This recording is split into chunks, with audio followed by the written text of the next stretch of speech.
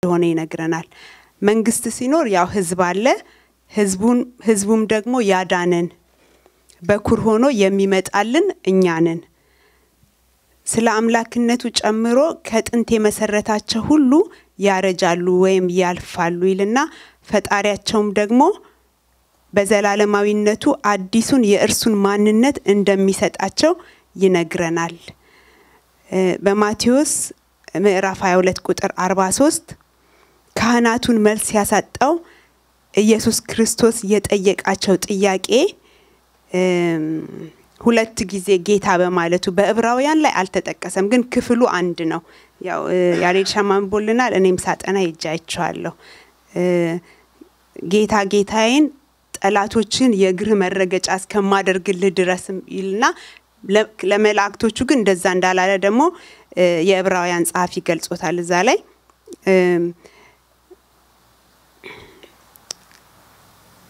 ካህናቱን መልስ ያሳጣ ኢየሱስ ክርስቶስ የጠየቃቸው ጥያቄ ሁለት ጌታ የሚለው ሲሆን በመንፈስ ዳዊት የተናገረው ትንቢት በመዝሙረ ዳዊት ላይ ማለት ነው። መዝሙረ ዳዊት ምዕራፍ መቶ አስር የኢየሱስ ክርስቶስን አምላክነት ጥርት አድርጎ ያሳያል። ጳውሎስ በዚህ ክፍል ያደረገው ንጽጽር ከመላእክት ጋር ቢሆንም የዳዊት ትንቢትም አምላክነቱን የክርስቶስን አምላክነት ገልጾታል።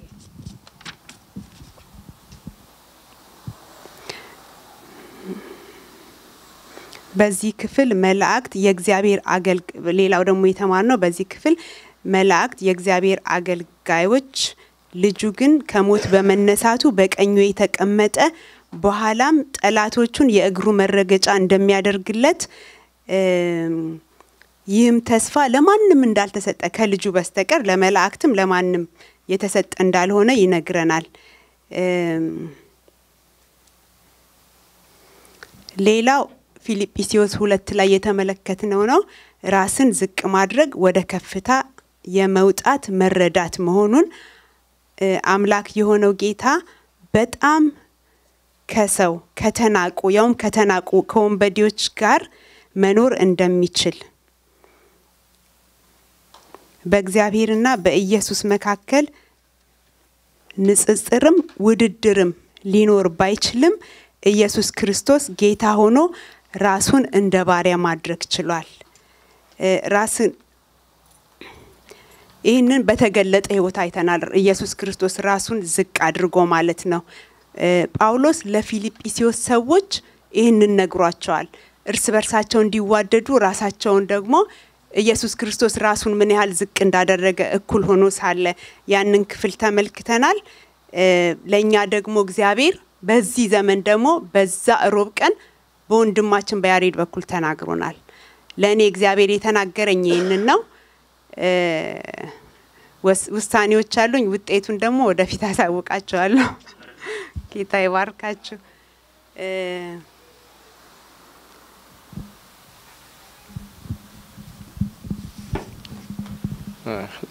አመሰግናለሁ። ለም የእግዚአብሔር ቃል በቃልም ይሁን በተግባር የምታደርጉትን በጌታ በኢየሱስ ስም አድርጉ ስለሚል እኔም በጌታ በኢየሱስ ስም አደርጋለሁ። አንድ ሶስት ነገሮችን ብናገር ደስ ይለኛል። አንደኛው ይህንን ትምህርት የሚያዩትን ቪው የሚያደርጉትን ሰዎች አይ ነበር እና በጣም ነው የደነቀኝ። ምናልባት ፌስቡክ እና YouTube ላይ view ያደረጉ ሰዎች ቁጥራቸው ትንሽ ይለያያል፣ ግን አንዳንድ ያየሁትን መታረም ካለብኝ ታርሙኛላችሁ። ሳይ ወደ ዘጠኝ ነጥብ ስድስት ዘጠና ስድስት ሺ ሰማኒያ ዘጠኝ ሺ በጣም የሚያስገርም ቁጥር ያለው ሰዎች ናቸው የሚያዩትና የሚከታተሉትና ይህንን ወደ ኮንፈረንስ ብንለውጠው እንደው ስቴዲየም ውስጥ እንኳን ተዘጋጀ ብንል በሰላሳ ሺህ በሰላሳ ሺህ የሶስት ቀን ሙሉ ኮንፈረንስ ነው በዚህ ሰዓት የምንማረው እና እኔ በጣም ነው የተገረምኩት።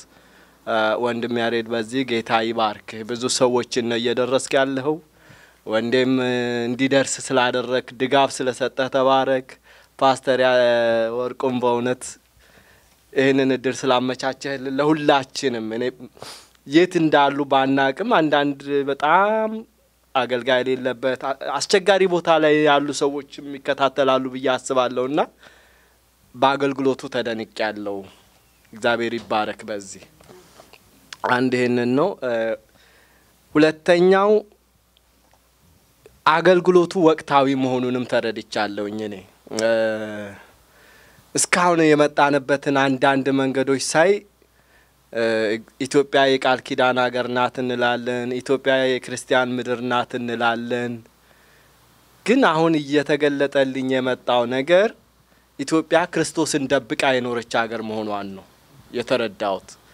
ክርስቶስን ሸሽጋ፣ ክርስቶስን ከልላ፣ ከክርስቶስ ይልቅ ሌሎችን አግዝፋ፣ ለሌሎች ሰግዳ የምትኖር ሀገር ናትና እኔ አንዳንዴ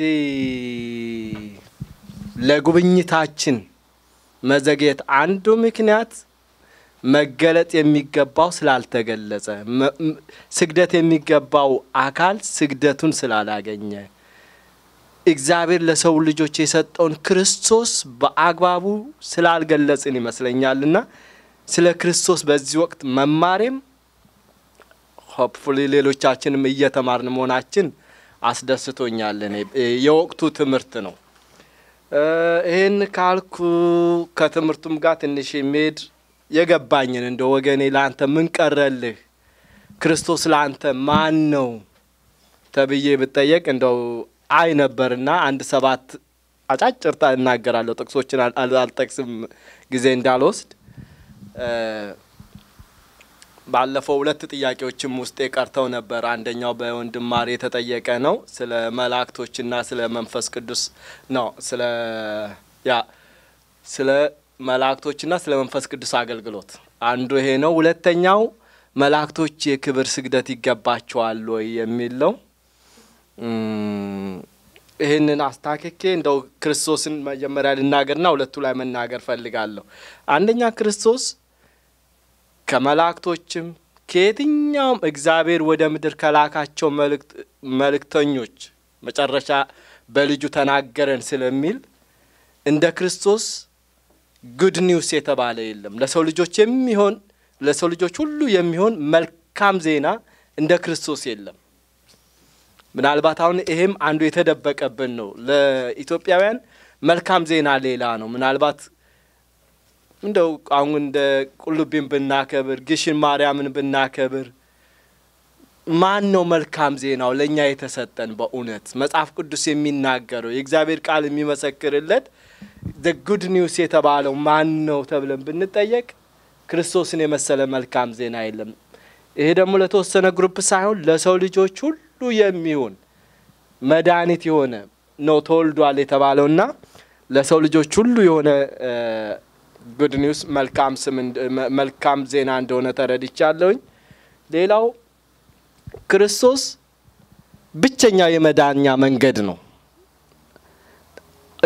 ኦፕሽኖች የሉንም፣ አማራጮች የሉንም። ብቸኛ ለሰው ልጆች እንድንበት ከኃጢአታችን እንመለስ ዘንድ የምንችልበት መንገድ ክርስቶስ ነው። ይህም በሐዋርያው ምዕራፍ አራት አስራ ሁለት ላይ መዳን በሌላ በማንም የለም እንድንበት ዘንድ ለሰዎች የተሰጠ ስም ከሰማይ በታች የለም ይላልና ይህም የሚሰሙ ወንድሞች እህቶች አማራጭ የመዳኛ መንገድ የለም። ክርስቶስ ብቸኛ የመዳኛ መንገድ እንደሆነ ተረድቻለሁ። ሶስተኛ የተረዳሁት የኃጢአት ስርየት ያው ከኃጢአት ስርየት ይቀድማል፣ መዳን ከዛ ይመጣል። ብቸኛው መንገድ የኃጢአት ስርየት የሚገኘውን በክርስቶስ በኩል መሆኑን ተረድቻለሁ። ሌላው ሰዎች ብዙ የስጋዊ ፈውስ መዳኛ መንገዶችን ይከተላሉ። መጽሐፍ ቅዱስ ግን ሰው እንኳን ከስጋዊ ደዌ የሚፈወስበት ስም ክርስቶስ መሆኑን መግለጽ ፈልጋለሁኝ ወይም ተረድቻለሁኝ። ሌላው አጋንንት እንኳን የሚታዘዙለት ስም ሌላ ስም የለም። ለሰው ልጆች አጋንንትን ያዙበት ወይም አጋንንት ይታዘዙ ዘንድ ለሰው ልጅ የተሰጠ ስም መሆኑን ተረድቻለሁ። ሌላው በመጨረሻ የምናገረው ከስሞች ሁሉ የበላይ የሆነ ስም የሚስተካከለው እዚህ ጋር ይቀረልኝ በጣምም ደስ ያለኝ ስለ ስም ስናወራ ሁለት ነገሮችን ነግሮናል ወንድም ያሬድ። አንደኛው ስም መጠሪያ ነው። ወገኔ መጠሪያዬ ነው። ግን እንደ ትክክለኛው እውነት አንተ የሰው ሁሉ ወገን ነህ ወይ ብባል አይደለውም። በቃ መለያዬ ነው፣ መጠሪያዬ ነው እንጂ ማንነቴን በትክክል አይገልጽም። ወገኔ የሚለው የእኔ ስም የክርስቶስ ስም ግን መጠሪያ አይደለም፣ ማንነቱን ነው የሚናገረው። የማንነት መገለጫ ነው። ይሄ በጣም ደስ ያለኝ ውስጤም የቀረልኝ ነገር ነው። አስረዘምኩ መሰለኝ፣ ግን የማሪን ውስጥ የቀረውን የመላእክትና የመንፈስ ቅዱስ አገልግሎት ላይ እንደ ውስጥ የቀረው አንዱ ክርስቶስ ሐዋርያትን ሲሰናበት በዮሐንስ ወንጌል መጨረሻ ባሉ ምዕራፎች ላይ እሄዳለሁ፣ መንፈስ ቅዱስን እልክላችኋለሁ፣ እሱ አብሯችሁ ይሆናል፣ እኔ ያልነገርኳችሁ ብዙ ነገር አለ፣ እሱ ይነግራችኋል እያለ ያስተምራቸው ነበርና መንፈስ ቅዱስ ከእኛ ጋር በልባችን ውስጥ በልባችን ቤተ መቅደስ አብሮን የሚኖር በኃጢአትም ይሁን በድክመትም ይሁን በተለያየ ነገር የሚወቅሰን የሚያስተምረን የሚገስጸን አብሮን የሚሆን እንደሆነ እረዳለሁኝ። መላእክቶች ግን አብረውን የሚኖሩ ሳይሆኑ በሐዋርያት ምዕራፎች ላይም በብሉይ ኪዳንም ብናይ ለምሳሌ ጴጥሮስ ከእስር ቤት የወጣበትን የነ ጳውሎስና ሲላስን ብንመለከት እዚህም ላይ ደግሞ መጨረሻ ዕብራውያን አንድ አስራ አራት ላይ ስላላቸው ለሚያግዙ የሚላኩ የሚያገለግሉ ለሆነ አገልግሎት የሚላኩ መናፍስት ወይም ንፋሳት ናቸው ይላል የእግዚአብሔር ቃልና በዚህ ልዩነቶቹን ትንሽ እረዳለሁ። ካስረዘምኩ ይቅርታ ለሚ ጌታ ይባርክ ወገን።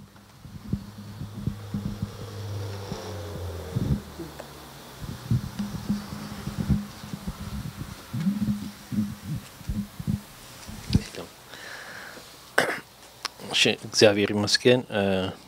ባለፈው ሳምንት የተማርናቸው አብዛኛዎቹ ተጠቅሰዋል። እኔ የተባሉትን አልደግምም። አንድ ሁለት ግን የቀሩልኝ ነገሮች ከነሱ ውስጥ ለመጥቀስ ሞክራለሁኝ። አንደኛው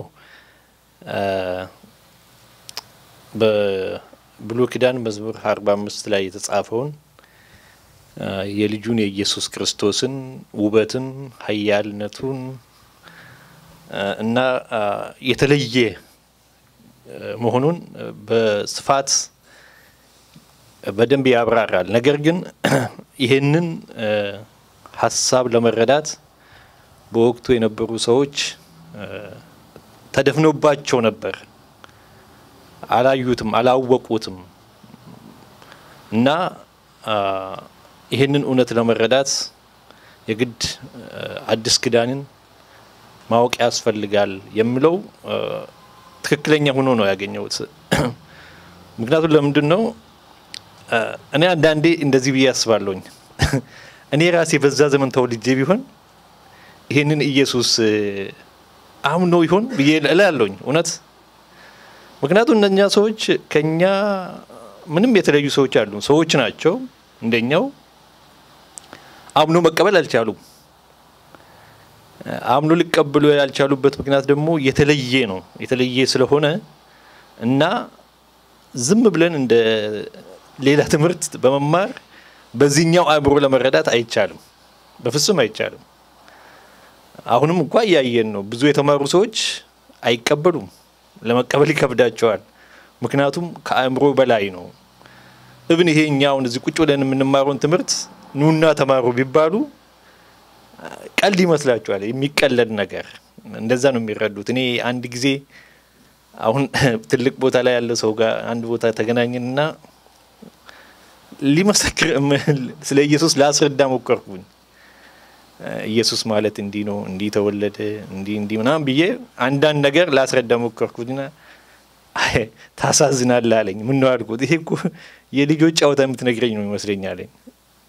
አሁን ምንም ሊፈረድበት አይችልም። ምክንያቱም እሱ የሚያውቀው የሚዳሰስ የሚጨበጥ ነገር መሆን አለበት ብሎ ስለሚያስብ ልክ አንድ ሲደመር አንድ ሁለት እንደምንለው እንደዛ አይነት ነገር ማረጋገጫ ስለሚፈልግ መረዳት አልፈለገም እና ነው ይሄ ተረት ተረት ይመስላል አለኝ።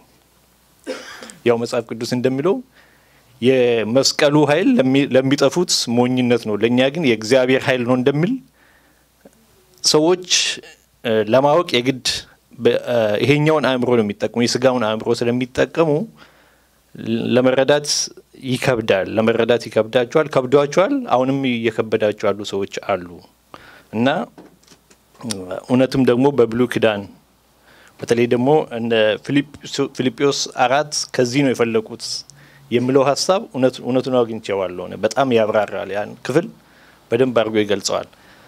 ሌላው የልጁን የኢየሱስ ክርስቶስን ዘመን ሲያነጻጽር ተራሮችም ያረጃሉ የሚለው እድሜውም ከዛ ጋር ሲያነጻጽር ይሄ እኛ የምናያቸው ለምሳሌ ተራራ ካለ ከጥንትም ነበረ፣ እኛም አየነው፣ ከኛ በኋላ የመጣ ትውልድም ያየዋል። ነገር ግን እነሱ እንኳ ያረጃሉ። ይሄ ዘላለማዊነቱን ያሳያል የሚል ነውና ትምህርቱ በጣም ደስ ብሎኝ ነው የተከታተልኩኝ። ያው ማሰብ ደግሞ ያስፈልጋል። ያው የተማርናቸውን ነገሮች ስናስብ እኛ በዛን ጊዜ ብንሆን ብለን ራሳችን ወደ ኋላ መለስ አድርገን አሁን ደግሞ ይሄንን ትምህርት በመማራችን እድለኞች ነን። አምነን መቀበላችን ደግሞ ለእምነታችን መሰረት የሆነ ነገር ስለሆነ ያው ያሬዶን እግዚአብሔር ይባርከው፣ እኛንም ደግሞ የበለጠ እንድንረዳ የፍሬ ሰው እንድንሆን ይርዳን እላለሁ። አመሰግናለሁ። ሌላ ሰው አለ?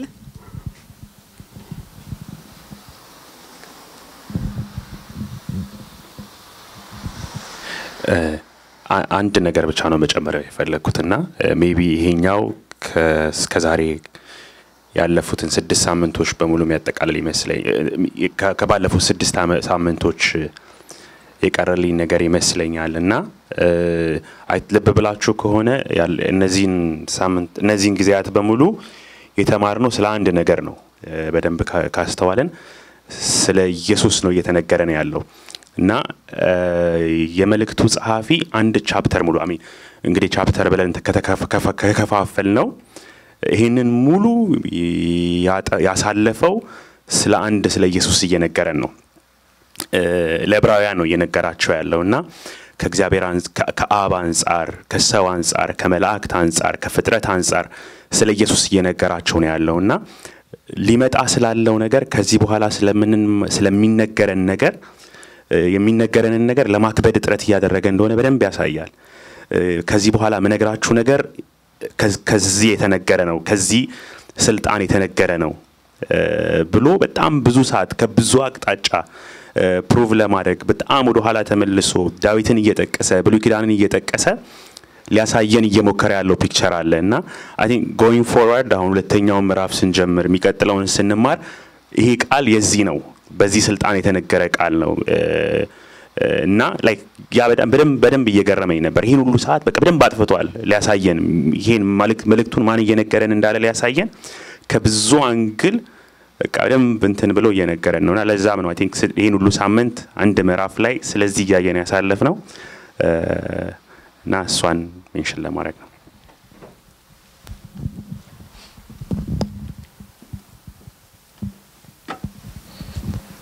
እንደምን አመሻችሁ?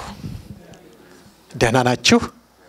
እግዚአብሔር የተመሰገነ ይሁን። ሁላችሁንም በጌታችን በመድኃኒታችን በኢየሱስ ክርስቶስ ስም ሰላም እላችኋለሁ። በጣም ጥሩ የ reflection ጊዜ የነበረን ምን ያህል እንደምትሰሙ የሚያሳየው ይሄ በመግቢያ ላይ የሚኖረን reflection ነው። ብዙ ደግሞ የሚያገኙኝ ሰዎች በተለያየ አጋጣሚ የሚነግሩኝ በጣም የምወደው reflection ኡን ነው ይሉኛል ብዙዎቹ። ስለዚህ reflect የምታደርጉ ሁሉ ብፁዓን ናችሁ። ስለ ሌሎቻችሁ ምንም አላልኩም። በቅድሚያ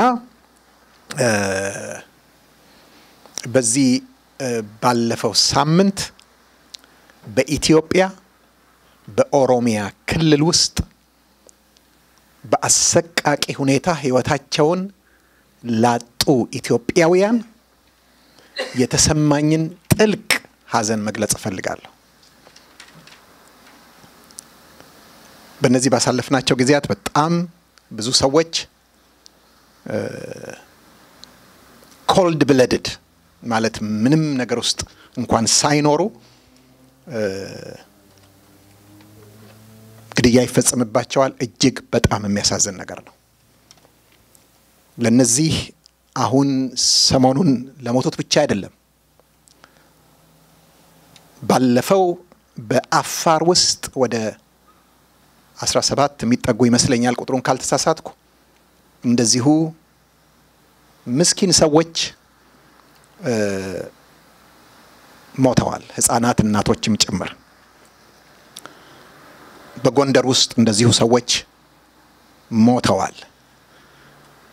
ወገኖቼ ሰው ይሞታል። ማንም የተወለደ ሰው ያድጋል፣ ይኖራል፣ ይሞታል። ምንም ያስደንቅ አይደለም። ግን ሰው በእግዚአብሔር ምሳሌ የተፈጠረ ሰው በሰው እጅ ህይወቱ ሊጠፋ አይገባም። ስለዚህ በዚህ አጋጣሚ ምድራችን የሞት፣ የሰቆቃ፣ የእልቂት፣ የስጋት ምድር ሳትሆን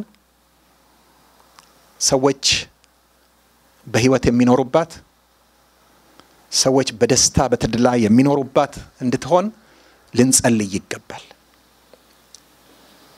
በዚህ አጋጣሚ ይሄንን እዚህ ላላችሁትም በ social media ለሚሰሙትም ሁሉ መናገር እፈልጋለሁ። ጻድቅ ሁሉ በምቹ ጊዜ ወደ አንተ ይለምናል፣ ብዙም የጥፋት ውሃ ወደ እርሱ አይቀርብም ይላልና ችግር ሲመጣ ብቻ ሳይሆን መጮህ ያለብን ብዙ አዝማሚያዎች ስላሉ ምልክቶች ስላሉ አበክረን በእግዚአብሔር ፊት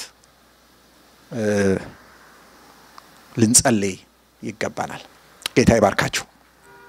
ወደ ዛሬው ትምህርታችን እንሄዳለን። ዛሬ አዲስ ምዕራፍ ነው የምንጀምረው። well መጽሐፍ ቅዱሳችን የትኛውም መጽሐፍ ሲጻፍ በምዕራፍና በቁጥር ተከፍሎ አልተጻፈም። ሁሉም ንጹህ text ነው። ከዚያ በኋላ ነው ለንባብ እንዲያመች በአስራ ሁለተኛው ክፍለ ዘመን ቁጥር በአስራ ስድስተኛው ክፍለ ዘመን ምዕራፍ የተበጀለት በኋላ ነው። ስለዚህ የመጽሐፍ ቅዱሱ ክፍል አይደሉም ምዕራፎቹና ቁጥሮቹ ለማንበብ እንዲያመቹን ነው፣ ለማጥናት ለመጥቀስ እንዲያመቹን ነው እንደዚህ የሆኑት። ነገር ግን ከኛ አንጻር አሁን ምዕራፍ ሁለትን የምንጀምርበት ይሆናል። ሁላችንም እንቆምና ምዕራፍ ሁለትን ከቁጥር አንድ እስከ አራት ድረስ በጥሞና እናነባለን። በነገራችን ላይ ሁሌ የምላችኋለሁ እኔ ለማንበብ ትልቅ ስፍራ ነው የምሰጠው ለንባብ። ምክንያቱም ትልቁ ችግራችን የማንበብ ችግር ነው። የጥሩ ንባብ ችግር ነው። እዛ ጋር ነው የሚጀምረው። እኔ ራሴ የሚገርማችሁ ይሄንን መጽሐፍ በጣም ብዙ ዓመታት አስተምሬዋለሁ የዕብራውያንን መልእክት ግን አሁን ቀስ ብዬ በጥሞና ሳነበው አሁን የሚገቡኝ ነገሮች አሉ ከእናንተው ጋር ስማር እዚህ ማለት ነው። ስለዚህ በጥሞና እናነበዋለን። ስለዚህ ከሰማነው ነገር ምናልባት እንዳንወሰድ ለእርሱ አብልጠን ልንጠነቀቅ ያስፈልገናል። በመላእክት የተነገረው ቃል ጽኑ ከሆነ መተላለፍና አለመታዘዝም ሁሉ የጽድቅን ብድራት ከተቀበለ እኛስ እንዲህ ያለውን ታላቅ መዳን ቸል ብንለው እንዴት እናመልጣለን? ይህ በጌታ በመጀመሪያ የተነገረ ነበርና የሰሙትም ለእኛ አጸኑት። እግዚአብሔርም እርሱ ራሱ እንደፈቀደ በምልክትና በድንቅ ነገር በልዩ ልዩ ተአምራትም መንፈስ ቅዱስንም በማደል አብሮ መሰከረለት። እንጸልያለን። ሁሉን የምትገዛ የዘላለም አምላክ ጻድቅና ቅዱስ እግዚአብሔር አምላካችንና አባታችን ሆይ በጌታችን በመድኃኒታችን በኢየሱስ ክርስቶስ ስም ወደ ፊትህ እንቀርባለን። እግዚአብሔር ሆይ ራስህን ልትገልጥልን የወደድክ አንተ ነህ። ቃልህን የሰጠህን አንተ ነህ። መንፈስህን የሰጠህን አንተ ነህ። እግዚአብሔር ሆይ ዓላማህ ልጅህን እንድናውቅ ደግሞም ባወቅነው እውነት እንድንኖር ነው። እግዚአብሔር ሆይ ሰማያትን ክፈትልን፣ አስተምረን፣ የቃልህን ፍቺ አብራልን፣ ሕይወታችንን ለውጥ። አንተ እንደምትፈልገውና ደስ እንደሚያሰኝ እንድንኖር እርዳን። በኢየሱስ ክርስቶስ ስም አሜን። እግዚአብሔር ይባርካችሁ።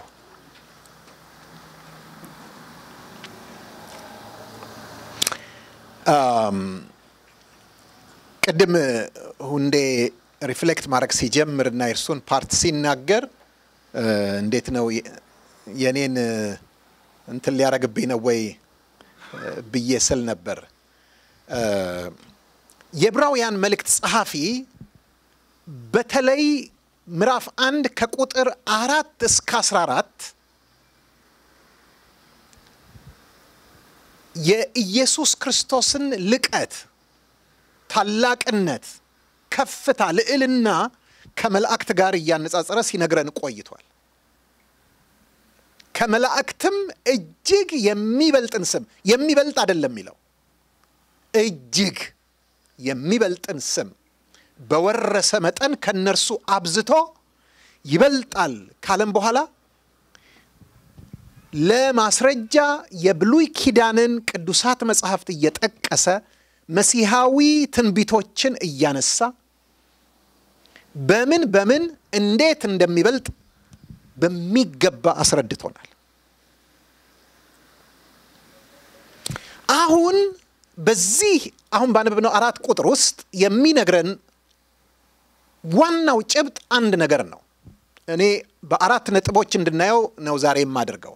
ግን ዋናው ነገር እስካሁን ድረስ ባለፉት ክፍሎች በተለይ ከቁጥር አራት ምዕራፍ አንድ እስከ 14 ድረስ ልጁ ከመላእክት እጅግ እንደሚበልጥ ሳሳይ የቆየሁት ለአንድ ምክንያት ነው ነው የሚለን። ያንን ነው ዛሬ የምናየው። ምንድን ነው ያ ምክንያት? ለምንድን ነው ይህንን ሲያሳየን የቆየው? ለምንድን ነው እነዚህን ሁሉ የብሉይ ኪዳን መሲሐዊ ክፍሎች አንስቶ ሲያስረዳ የቆየው? okay። ስለዚህ ከሰማነው ነገር ምናልባት እንዳንወሰድ ለእርሱ አብልጠን ልንጠነቀቅ ያስፈልገናል።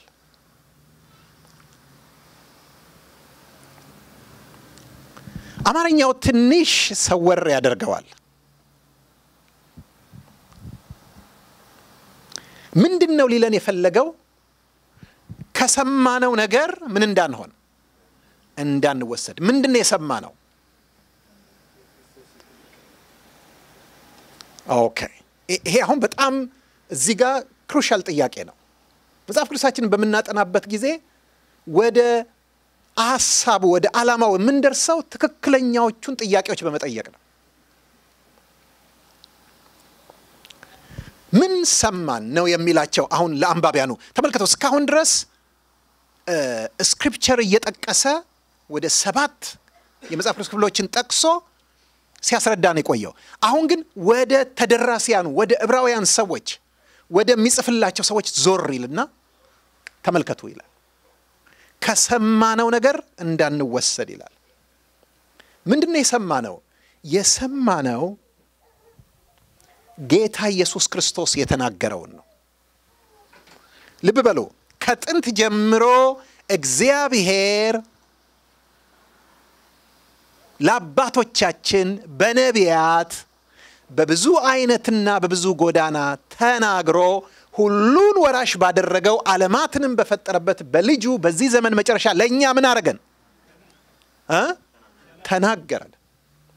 እኔ ምን እያረግኩ ነው? አሁን እየተናገርኩ ነው። እናንተ ምን እያረጋችሁ ነው? እየሰማችሁ ስለዚህ እግዚአብሔር በልጁ ምን አድርጓል? ተናግሯል። እኛም ምን አድርገናል? ሰምተናል። well የዕብራውያን ይሄ የሚጻፍላቸው community ወይም ማህበረሰብ በቀጥታ ኢየሱስ ክርስቶስ ሲናገር የሰሙ አይደሉም አይደሉም የነበሩ አይደሉም በዛ ቦታ። ነገር ግን ከኢየሱስ ክርስቶስ አፍ ከሰሙቱ ከሐዋርያቱ በሁለተኛ ደረጃ ምን አድርገዋል? ሰምተዋል። ወይም ሶስተኛ ሰሚዎች ናቸው። ኢየሱስ ክርስቶስ ተናገረ፣ ደቀ መዛሙርቱ ወይም ሐዋርያቱ ሰሙት። ከሐዋርያቱ የሰሙ ናቸው እነዚህ። ምክንያቱም ዝቅ ብለን ስናነብ ይህ በመጀመሪያ በጌታ የተነገረ ነበርና የሰሙትም ለእኛ አጸኑት ስለሚል የሰሙ ናቸው። ግን በሐዋርያትም በኩል ምን አድርገዋል? ሰምተዋል ሰምተዋል።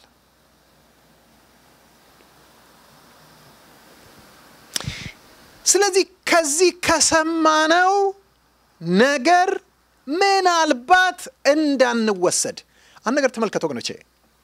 የዕብራውያን ጸሐፊ ይህንን መልእክት የገነባበት መንገድ ስልት፣ ያጸጻፍ ስልቱ ምን አይነት ነው ካላችሁኝ አንድ እውነት ሲነግረን ሲነግረን ሲነግረን ይቆይና በመጽሐፍ ቅዱስ ክፍሎች አስደግፈው ሲነግረን ይቆይና ከዛ በኋላ ማስጠንቀቂያ ያመጣል። አሁንም ይቀጥልና እንደዚሁ ሲነግረን ሲነግረን ይቆይና ማስጠንቀቂያ ያመጣል። ለዚህ ነው የዕብራውያን መልእክት ዋና ዓላማው በክርስቶስ ኢየሱስ አምነው ወንጌልን ተቀብለው ለረዥም ጊዜ ከኖሩ በኋላ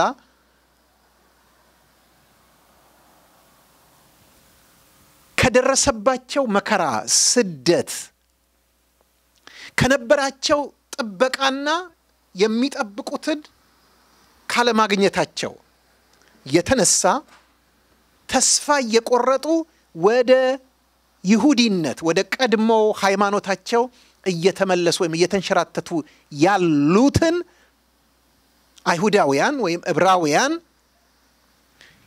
ይሄንን የያዙትን እምነት ይዘው እንዲጸኑ እንዲጋደሉ እስከ ፍጻሜ ድረስ እንዲሄዱ የተስፋውም ቃል ወራሾች እንዲሆኑ የሚያበረታታ መጽሐፍ ነው፣ መልእክት ነው።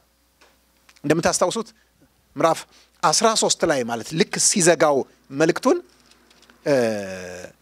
ይሄንን የጻፈውን መልእክት ምን ብሎ ነው የሚጠራው ጸሐፊው ራሱ ቁጥር 22 ላይ 13 22 ላይ ወንድሞች ሆይ የምክርን ቃል እንድትታገሱ እመክራችኋለሁ በጥቂት ቃል ጽፌላችኋለሁና። ተመልከቱ፣ የምክር ቃል ነው የሚለው። ምክር ቃል የተግሳጽ ቃል ነው፣ የማስጠንቀቂያ ቃል ነው፣ የማጽናኛ ቃል ነው።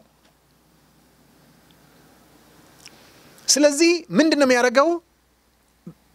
አንድ ሀሳብ ይገነባ ይገነባ ይመጣና እንዲህ ስለሆነ እንዲህ እንዳትሆኑ ተጠንቀቁ እያለ ነው የሚቀጥለው። እንዲህ ነው የምንጨርሰው መጽሐፉን በሙሉ።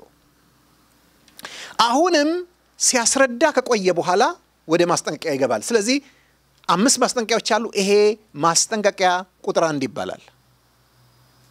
ዛሬ የምናየው ምዕራፍ ሁለት ከቁጥር አንድ እስከ አራት ድረስ ማስጠንቀቂያ ቁጥር አንድ ምንድን ነው ማስጠንቀቂያው? ከሱ እግዚአብሔር በልጁ ምን አድርጓል? ተናግሯል።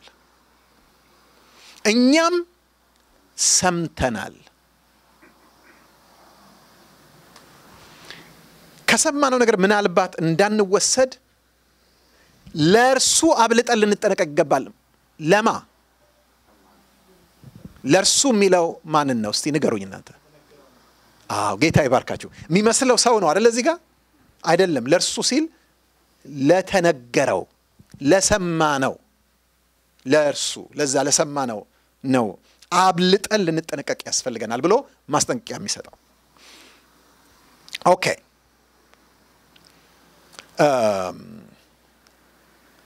እንግሊዘኛው ትንሽ ግልጽ የሚያደርገው ይመስለኛል። እንዳንወሰድ የሚለውን ቃል drift እንዳናደርግ ነው የሚለው። drift away፣ slip away የሚል ቃል ነው የሚጠቀመው። በተለይ ይሄ drifting ትክክለኛው ወይም ጥሩ ቃል ይመስለኛል። እዚህ ጋር እንደ አንድ ዋና ኪወርድ አድርጌ ቁልፍ ቃል አድርጌ ያስቀመጥኩት ይሄ ነው። እንዳንወሰድ ድሪፍት እንዳናደርግ ድሪፍት ለሚለው ቃል ጥሩ ምሳሌ በጥንትም ዘመን ምንድን ነው? መርከብ ውቅያኖስ አቋርጦ ባህር አቋርጦ ይሄዳል። ግን ሲሄድ ኮምፓስ አለው አይደል እንዴ? አቅጣጫ የሚጠቁም አለው። ስለዚህ ወደ አንድ ቦታ ነው የሚሄደው። transportation ነው። from point A to point B ነው የሚሄደው። ተመልከቱ፣ በባህር ላይ የሚጓዙ ሰዎች በዛ ዘመን መሬት የሚባል ነገር ሳያዩ ዙሪያቸው ሁሉ ውሃ ሆኖ ማለት የማይረገጥበት የማይቆምበት ውሃ ሆኖ ደሴት ሲያገኙ ወይም ደግሞ መሬት ሲያገኙ ወይም ወደብ ጋር ሲደርሱ እንዴት እንደሚደሰቱ መገመት ትችላላችሁ። ምክንያቱም የነፋስ መርከብ ነው፣ የእንጨት የምናምን የጎፌር የምናምን መርከብ ነው። ለረዥም ጊዜ ነው ውሃ ላይ የሚቆዩት። እንዳሁኑ እንደ ዘመናዊ በሞተር በምን ስፒድ ያለው አይደለም። ለወራት ያሳልፋሉ። አንዳንዴ ማዕበል ይነሳል። በጣም በጣም አስፈሪ ነገር ነው በመርከብ መጓዝ በዛን ዘመን። ልክ ግን መርከቡ ሲደርስ እንዴት ነው ሄዶ ወደቡ ጋር የሚቆመው? ምክንያቱም ምን ያደርጋሉ? ያ የሚቆምበትን ቦታ ሄዶ የሚጋጭበት የሚቆምበትን ቦታ ምን ያደርጉታል? በማይጎዳ ነገር ይከሉታል። አሁን አሁን አይታችሁ እንደሆነ ወደ ባካይ ጎማ ምናምን ምናምን ይኖራል ሄዶ የሚጠጋበት ቀስ ብሎ ወገኖቼ ድሪፍት ማድረግ ምን ማለት ነው ካላችሁኝ ያንን ቦታ ስቶ ማለፍ ማለት ነው። ወደቡን ዶክ የሚያደርግበትን የሚቆምበትን ታክሲ የሚያደርግበትን ያን ቦታ ስቶ በሌላ አቅጣጫ መሄድ ማለት ነው። አደገኛ ነው።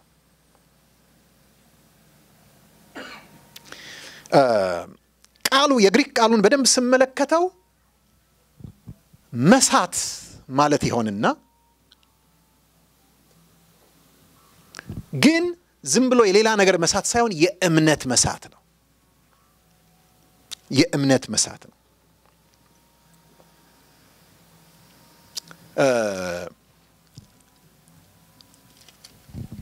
አንደኛ ጢሞቴዎስ ላይ ብትመለከቱ ምዕራፍ አንድ አንደኛ ጢሞቴዎስ ምዕራፍ አንድ ላይ ቁጥር 19ን ላንብብላችሁ።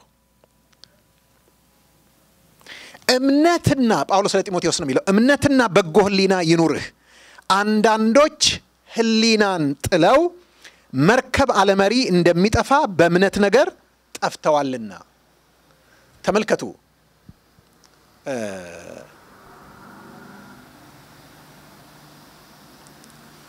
እምነትና በጎ ሕሊና ይኑርህ። ሕሊናን እንደምን ያደርገዋል? ኮምፓስ እንደ ኮምፓስ ያደርገዋል። ምክንያቱም ውሃ ላይ ስትሆኑ ምልክት የላችሁም። ኮምፓስ ካልያዛችሁ በስተቀር ወዴት ነው ሰሜኑ፣ ወዴት ነው ደቡብ፣ ወዴት ነው ምዕራቡ፣ ምንም የምታውቁት ነገር የለም። በጣም አቅጣጫ ወሳኝ ነገር ነው መርከብ ላይ። ስለዚህ ኮምፓስ ህሊና ነው፣ በጎ ህሊና ነው፣ ትክክለኛ ህሊና፣ የሚሰራ ህሊና ነው። አንዳንዶች ግን ይሄንን ጥለው መርከብ አለመሪ እንደሚጠፋ ከእምነት ነገር ጠፍተዋል። ስለዚህ ሰው ከትክክለኛው እምነት ከእውነተኛው እምነት ድሪፍት ሊያደርግ ይችላል።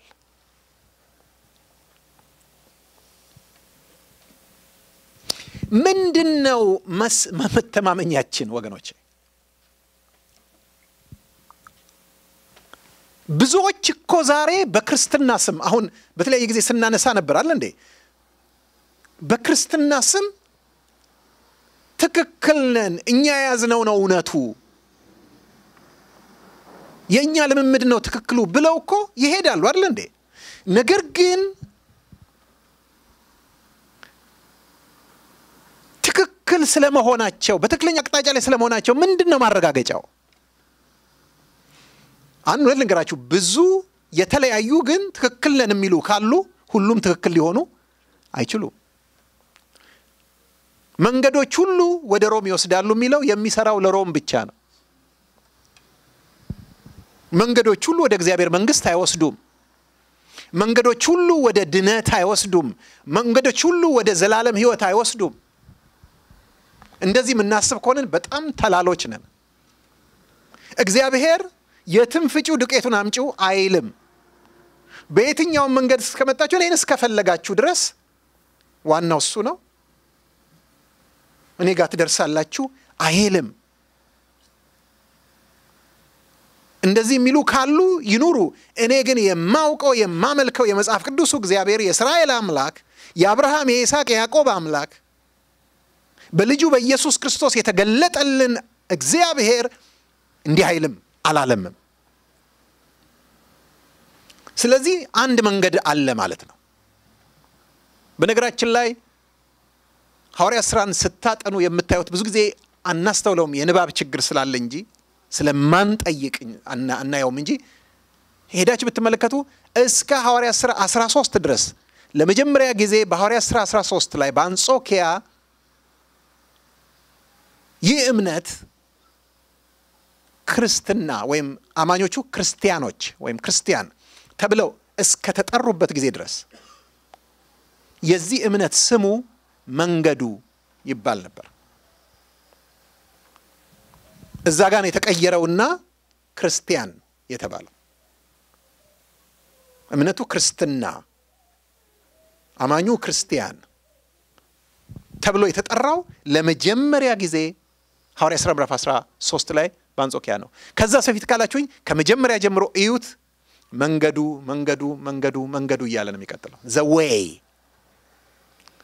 እርግጠኛ ነኝ አንዳንዶቻችሁ አንብባችሁታል። ግን መንገዱ ሲል የጉዞ መጓዣው መንገድ መስሏችሁ እንደሆነ አውቃለሁኝ። እኔም መስሎኝ ያውቃል እሱ።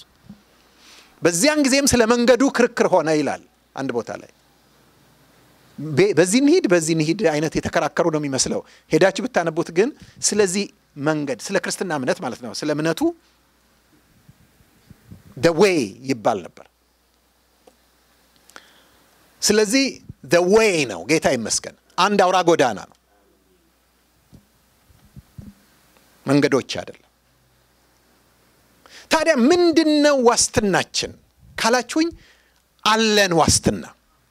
ያም ዋስትና ምንድን ነው? የሰማነው ነገር ነው። ሃሌሉያ። እግዚአብሔር በዚህ ዘመን መጨረሻ በልጁ የተናገረው በምስክሮች ፊት የተናገረው ሲጠራቸው እናንተ ምኖቼ ትሆናላችሁ ነው ያላቸው። ምስክሮቼ ትሆናላችሁ ያለው። በምስክሮች ፊት የተናገረው የሰሙትም ደግሞ በጥንቃቄ ለእኛ ያጸኑልን እርሱ የተናገረው ነገር አለ።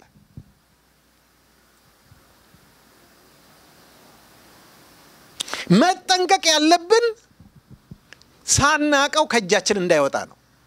ያ ልብ በሉ። የዕብራውያን መልእክት ጸሐፊ እሱ ላይ ደግሞ ደጋግሞ እሱ ላይ እንደሚያጠነጥን የምታውቁት እዚሁም ለምሳሌ ምዕራፍ ሶስት ላይ ብትመጡ ምን ይላል? ቁጥር ሰባት ላይ ስለዚህ መንፈስ ቅዱስ እንደሚል ይላል የሚጠቅስልን አሁንም ከመዝሙረ ዳዊት ነው። እሱ ጋር አልሄድም፣ ምክንያቱም በሰዓቱ እንደርስበታለን።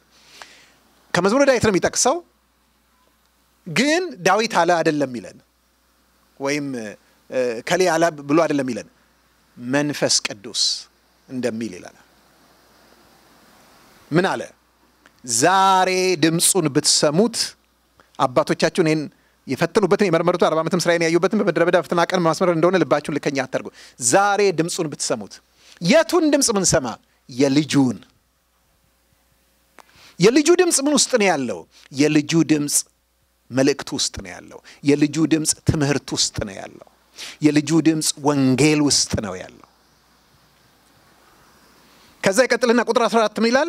የመጀመሪያ እምነታችንን እስከ መጨረሻ አጽንተን ብንጠብቅ የክርስቶስ ተካፋዮች ሆነናልና እንደተባለ ዛሬ ድምፁን ብትሰሙት ብሎ ይላል።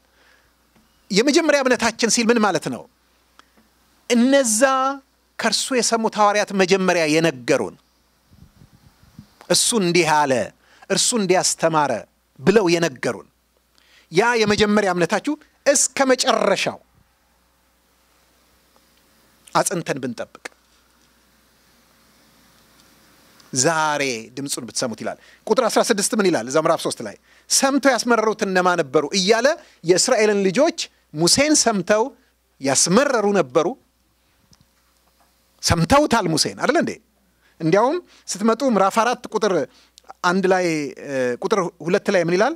ለእነዚያ ደግሞ እንደተነገረ ለእኛ የምስራች ተሰብኮልናልና ዳሩ ግን የሰሙት ቃል ከሰሚዎቹ ጋር በእምነት ስላልተዋሃደ አልጠቀማቸውም። ምን አድርገዋል እስራኤላውያን ሙሴን? ሰምተዋል፣ ግን አልታዘዙም፣ አስመረሩ።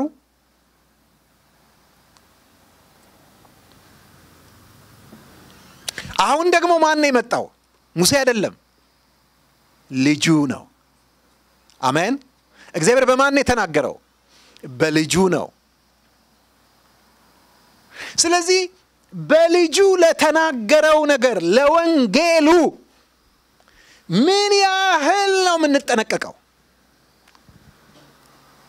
ከእጃችን እንዳያወጣ፣ እንዳይሾልክ፣ እንዳያመልጠን፣ ያለ የመሰለን እንዳይጠፋ፣ እንዳይንሸራተት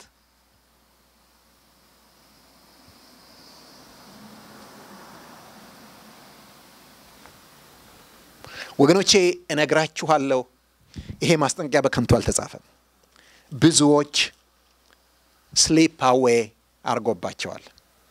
ድሪፍት አዌ አድርጎባቸዋል። ብዙዎች ከእምነት ከትክክለኛው ከንጹሑ ድሪፍት አድርገዋል።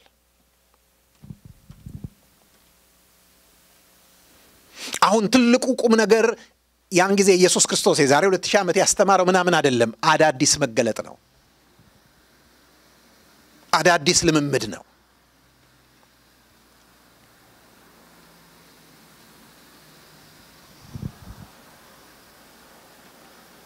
ስለዚህ ከሰማነው ነገር ምናልባት እንዳንወሰድ የዕብራውያን መልእክት ጸሐፊ አሁንም ስለምኑ ነው ሲጀምር ምን ብሎ ነገረን? ከጥንት ጀምሮ እግዚአብሔር በብዙ አይነትና መንገድ ወደ ለአባቶቻችን በነቢያት ተናግሮ ሁሉን ወራሽ ባደረገው በልጁ በዚህ ዘመን መጨረሻ ለእኛ ተናገረን ነው እያለ ነው ያለው። ስለዚህ ለተናገረው ነገር ምን ስጡ? ትኩረት ስጡ። ይሄ ነው። ሩቅ ሳንሄድ ምዕራፍ 12 ቁጥር 25ን እዚሁ ዕብራውያን ላይ ብናይ ምን እንደሚል ታውቃላችሁ? ለሚናገረው እምቢ እንዳትሉ ተጠንቀቁ። እነዚያ በምድር ላስረዳቸው እምቢ ባሉ ጊዜ ካላመለጡ ከሰማይ ከመጣው ፈቀቅ የምንል እኛስ እንዴት እናመልጣለን? ስለዚህ ምን ላይ ነው ትኩረቱ? እግዚአብሔር በዚህ ዘመን መጨረሻ ለእኛ በልጁ የተናገረው ኮንቴንት ላይ ነው። በልጁ የተናገረው ርዕሰ ጉዳይ ላይ ነው። በልጁ የተናገረው መልእክት ላይ ነው።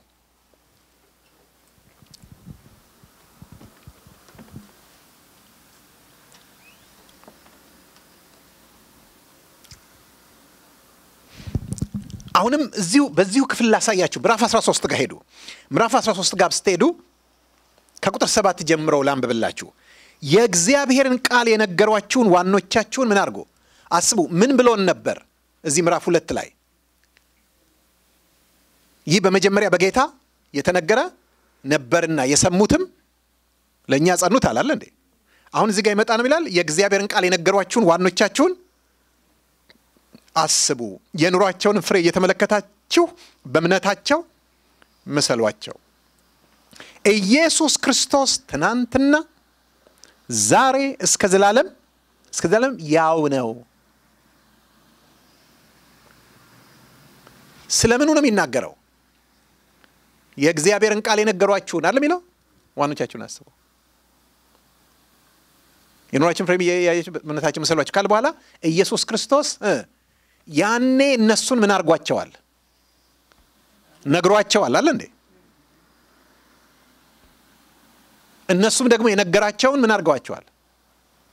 ነግረዋችኋል።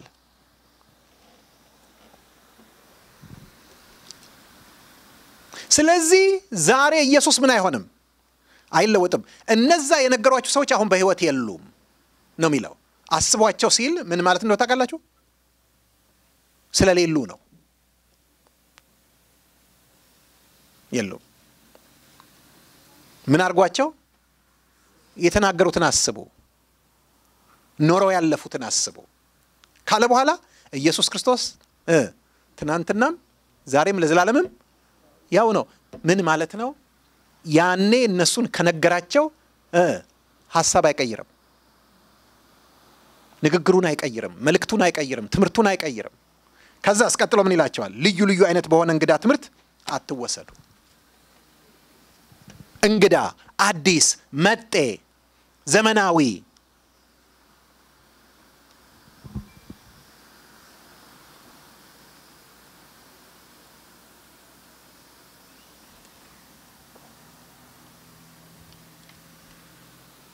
ወገኖቼ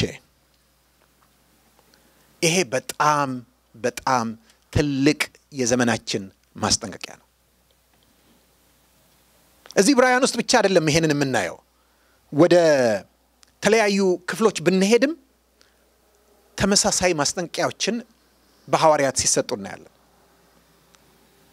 ለምሳሌ አንደኛ ዮሐንስ ምዕራፍ ሁለት ቁጥር 24ን ብትመለከቱ ዮሐንስ ተመሳሳይ ማስጠንቀቂያ ይሰጣል። የዮሐንስ መልእክት እንደምታውቁት ለተከሰተ የስተት ትምህርት በማይነር ኤዥያ ወይም በትንሿ እስያ ውስጥ ወይም አሁን ቱርክ ብለን በምንጠራው ደቡባዊ ክፍል የተከሰተውን የስተት ትምህርት ለመመከት የተጻፈ ነው። ስለዚህ ምን ይላቸዋል? ቁጥር 24 ላይ ምዕራፍ ሁለት አንደኛ ዮሐንስ እናንተስ ከመጀመሪያ የሰማችሁት በእናንተ ጸንቶ ይኑር። አሜን። እናንተስ ከመጀመሪያ የሰማችሁት በእናንተ ጸንቶ ይኑር። ከመጀመሪያ የሰማችሁት በእናንተ ቢኖር እናንተ ደግሞ በወልድና በአብ ትኖራላችሁ። እርሱም የሰጠን ተስፋ ይህ የዘላለም ሕይወት ነው። ሃሌሉያ አሜን።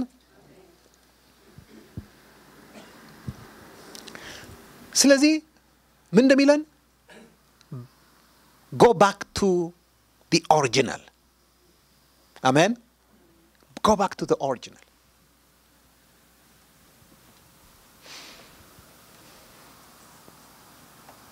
check your foundation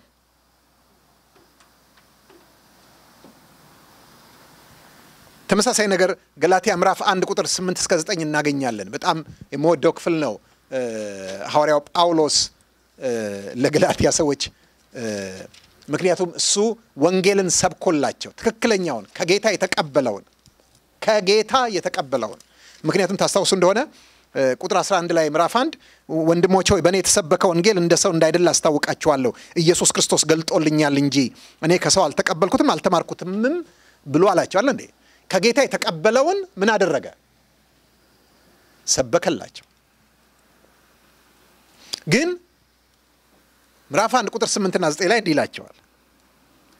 ነገር ግን እኛ ብንሆን ወይም ከሰማይ መልአክ ከሰበክንላችሁ ወንጌል የሚለይ ወንጌል ቢሰብክላችሁ የተረገመ ይሁን።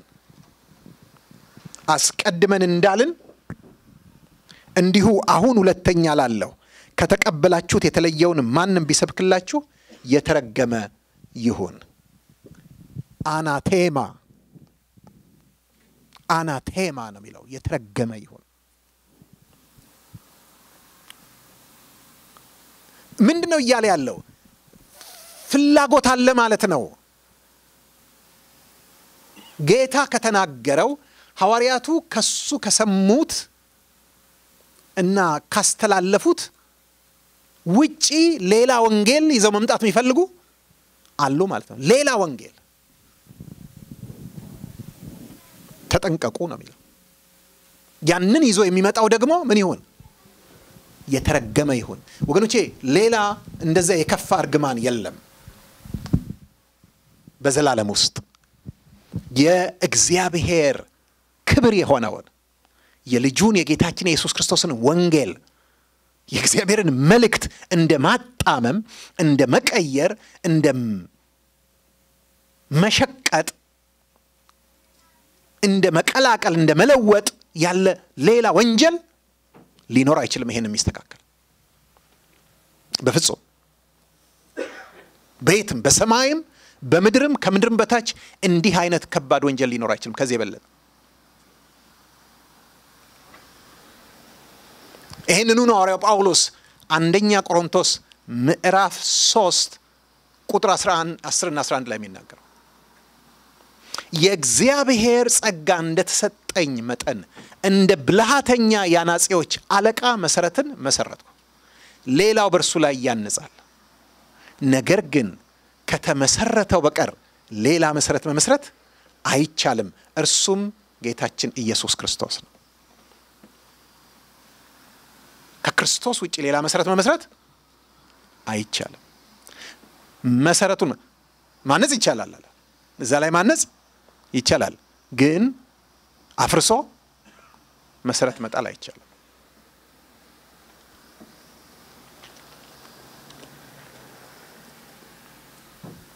ወገኖች ያን ነገር ልንገራችሁ። ጌታ ኢየሱስ ክርስቶስ ሲያስተምር በማቴዎስ ወንጌል ምዕራፍ 13 የምታውቁት ክፍል ነው። ዘሪ ሊዘራ ወጣ አለ አደለ? ዘራ።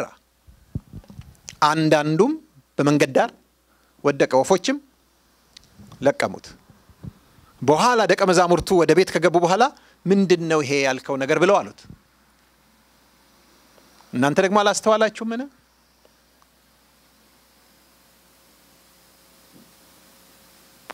ዘሩ የመንግስት ቃል ነው። ሰምቶም የማያስተውለው ልብ የማይለው ዋጋ የማይሰጠው በአግባቡ የማይይዘው ሰምቶ የመንግስትን ቃል ሰምቶ በማያስተውል ሁሉ ላይ ክፉ ይመጣል፣ የተዘራውንም ይወስዳል አለ።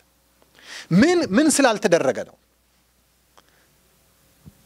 ሰምተው በማያስተውል ሁሉ ላይ የመንግስትን ቃል ሰምቶ በማያስተውል ሁሉ ላይ ወገኖቼ ይሄ ክፍል የሚያስጠነቅቀን ዋና ነገር ምንድን ነው?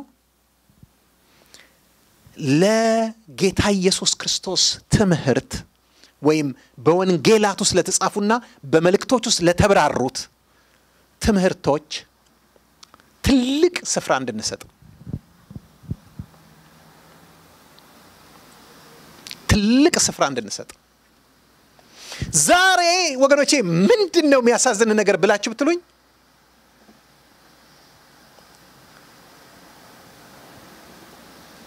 የጌታ ኢየሱስ ክርስቶስ ትምህርት በቤተ ክርስቲያን ውስጥ እንኳ በጥንቃቄ አልተያዘም።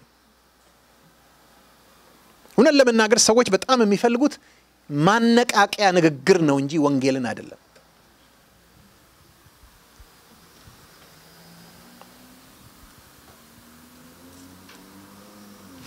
በየጊዜው ምን አለ ነው ልንባባል የሚገባው ቤተ ክርስቲያን ውስጥ ክርስቶስ ምን አለ? ምን አስተማረ?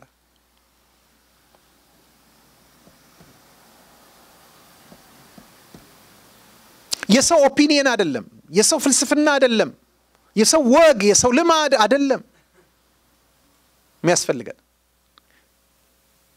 ምን አለ? oh yeah ደህንነት ስንማር ተምረነዋል፣ እሱን ምናምን። አሁን እኛ አዲስ መገለጥ ነው የምንፈልገው። oh አይሰራም ወገኖች። ዩ ካንት ማስተር ኢት ዩ ካንት ማስተር ደ ጋስፕል።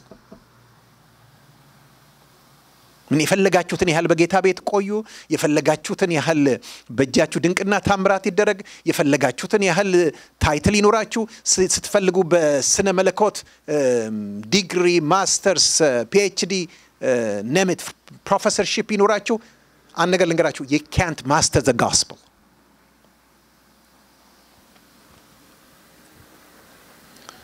እንዲሁ እንድናነበንበው አይደለም ሄደን ልጁ ምን አለ ማለት ያለብን ወንጌላትን መመልከት ያለብን ወይም ደግሞ በምልክቶች ውስጥ ከእሱ የሰሙት ያጸኑትን መስማት ያለብን ያለ እንዲሁ አይደለም ወገኖቼ። ምን ያህል እየኖርነው ነው? ምን ያህል እያመንነው ነው? ምን ያህል እየጠበቅነው ነው ምን ያህል እያካፈልነው ነው? ከእጅ ሊወጣ ስለሚችል ነው። እኛም ሳናቀው ድሪፍት ልናረግ ስለምንችል ነው። ሳናቀው ሊወሰድብን ስለሚችል ነው ይህንን ማስጠንቀቂያ የሚሰጠን።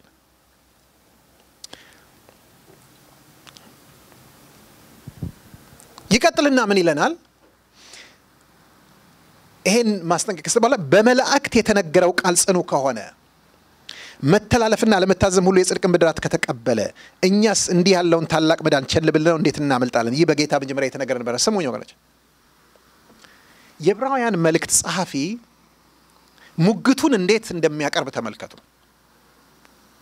እንደምታውቁት በ first century የመጀመሪያው ክፍለ ዘመን ላይ ትምህርት፣ ጥበብ፣ እውቀት፣ ምርምር የሚባለው ብዙ ዘርፍ አልነበረውም።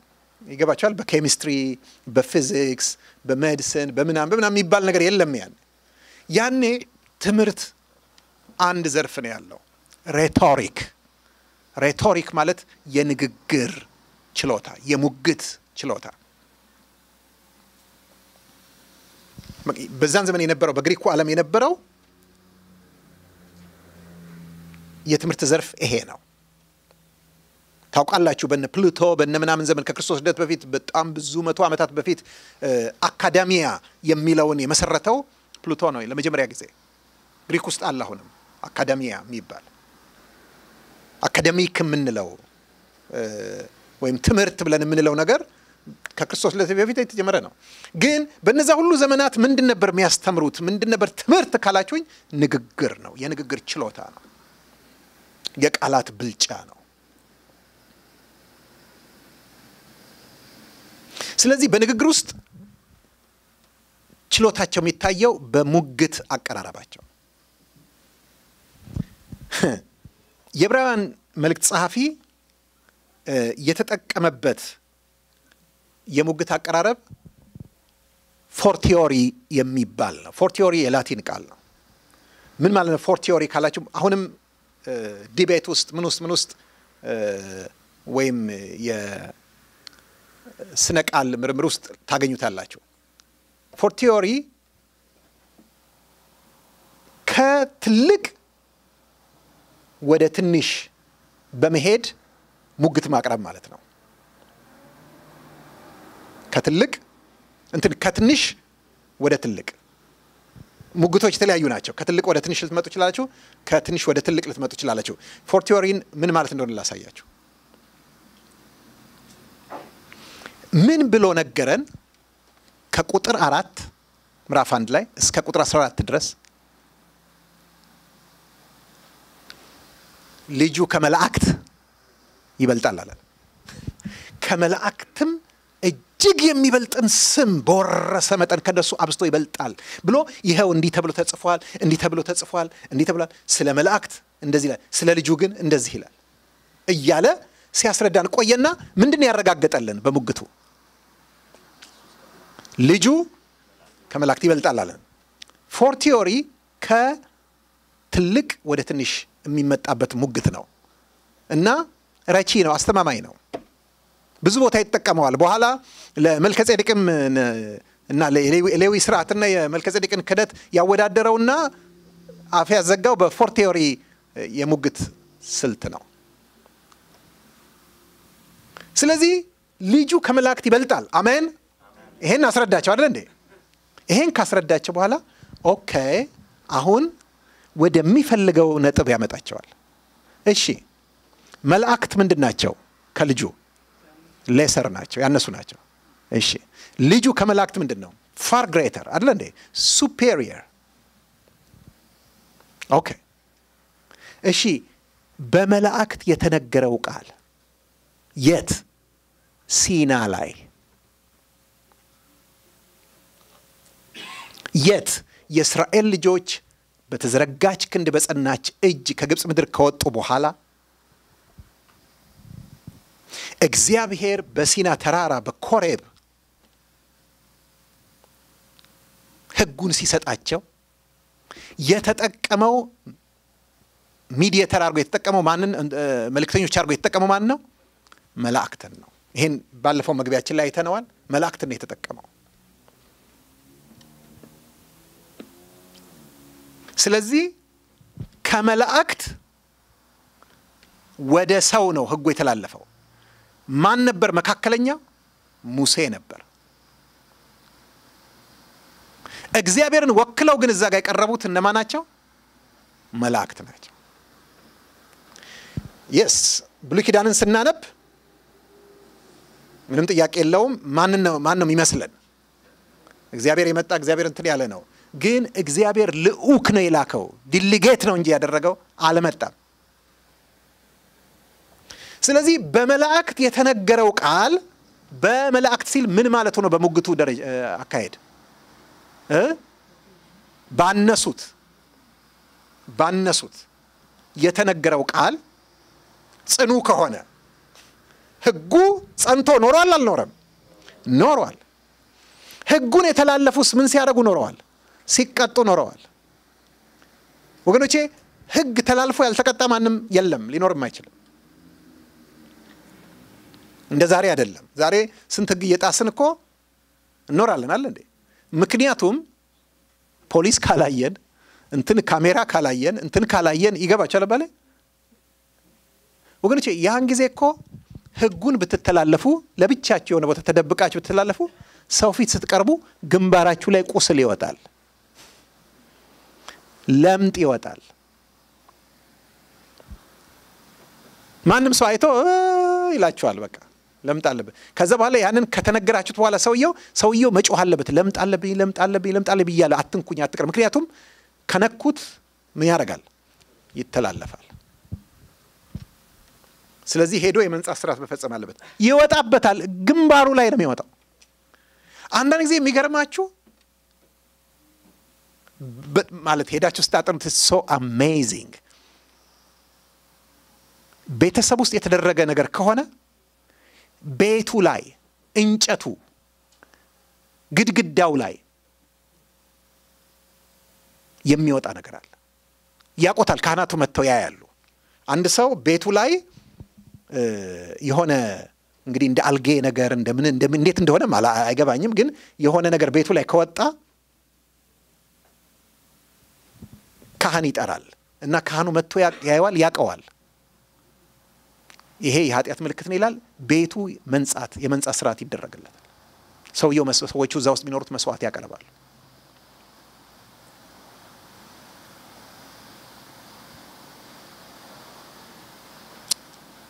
ወገኖቼ በብሉይ ኪዳን እስራኤል ኃጢአትና የጽድቅ ብድራት ወይም ፍርድ እጅ በእጅ ፍቅር እንዲደረጅ ነው። እጅ በእጅ ነው።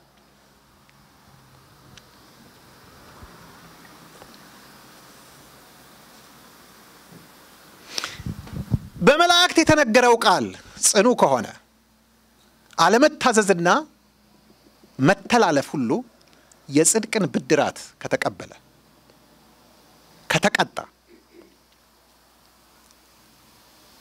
በአነሱቱ የተነገረው ቃል ጽኑ ከሆነ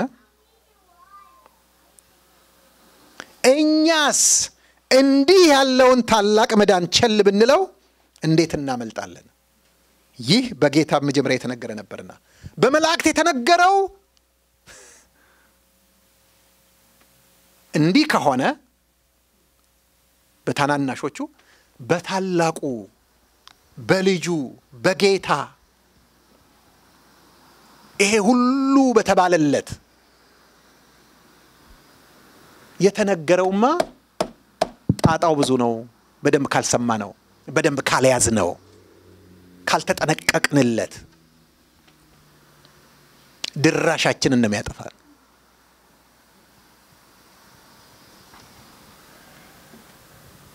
penalty አለው፣ consequence አለው።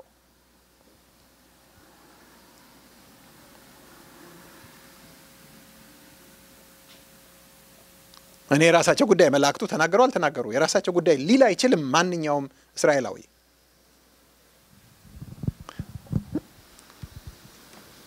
በዚህ ትኖራለህ ተብሎ ነው የተሰጠው አይደል እንዴ? ህግ ነው፣ ግዴታ ነው። ወገኖቼ አሜሪካን ሀገር መግባት ወይ አሜሪካን ሀገር መወለድ ወይ አሜሪካን ሀገር ዜጋ አግብቶ መምጣት ወይ ደግሞ አሜሪካን ሀገር አሳይለም ጠይቆ naturalized መደረግ whatever የፈለጋችሁትን በሉ በሉ አሜኒክ አሜሪካ ውስጥ መኖር መብት ነው። አሜሪካ የምታፈራውን በጎ ነገር የምታስገኘውን መልካም ነገር መካፈል እድል ነው። ነገር ግን አሜሪካ ውስጥ ስትኖር አንተ ከመኖርህ በፊት የወጣው ህግ አንተ ከመወለድህ አንቺ ከመፈጠረሽ በፊት የወጣውን ህግ አንተ እዚህ ከመምጣትህ አንቺ እዚህ ከመምጣትሽ በፊት የወጣው ህግ በዛ ህግ የመኖር ግዴታ ግን አለብህ። ማንኛውም እስራኤላዊ በዚህ በመላእክት በኩል በተነገረው ህግ የመኖር ግዴታ እንደነበረበት ሁሉ ወገኖቼ ማንኛውም ወደ እግዚአብሔር መንግስት የሚገባ ሰው ማንኛውም ይሄን ታላቅ መዳን የሚያገኝ ሰው ደግሞ በክርስቶስ ህግ የመኖር ግዴታ አለበት። it's not choice።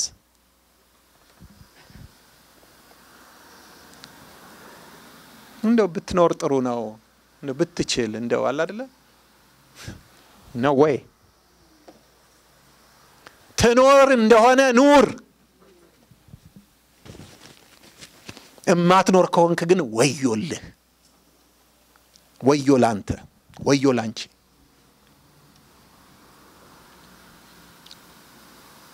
ማምለጫ የለም። ወገኖቼ እውነት እውነቱን ብንነጋገር አይሻልም?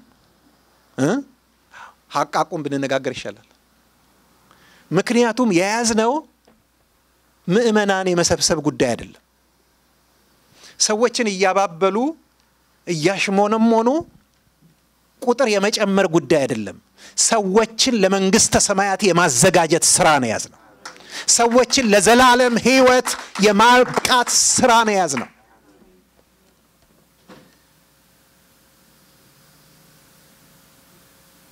እውነቱ ይህና ይሄ ብቻ ነው።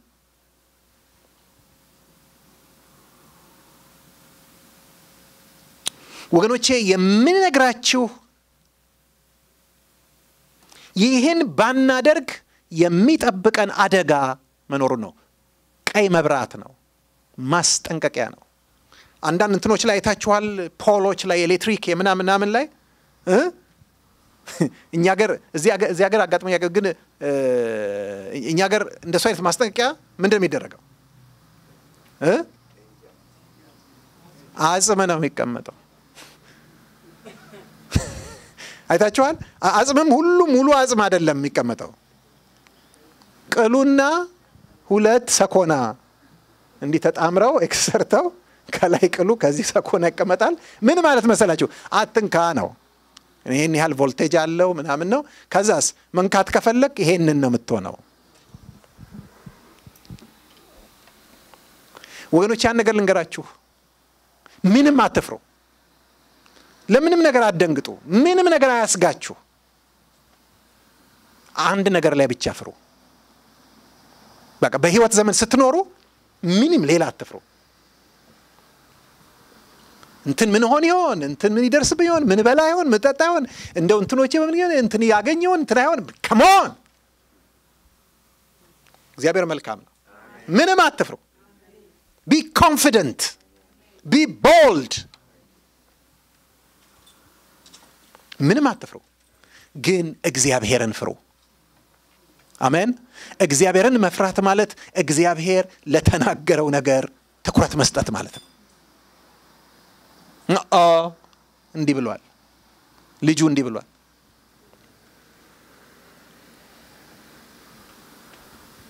ባለቀ ልጁ እንዲህ ብሏል። ልጁ እርስ በርሳችሁ ተዋደዱ ብሏል አለ። ከዚህ ውጭ ምንም አማራጭ የለኝም። ልጁ በቅድስና ኑር ብሏል። ሌላ አማራጭ የለኝም። ከዛ በኋላ ቀጥሉት እናንተ። ይሄንን እንፍራ።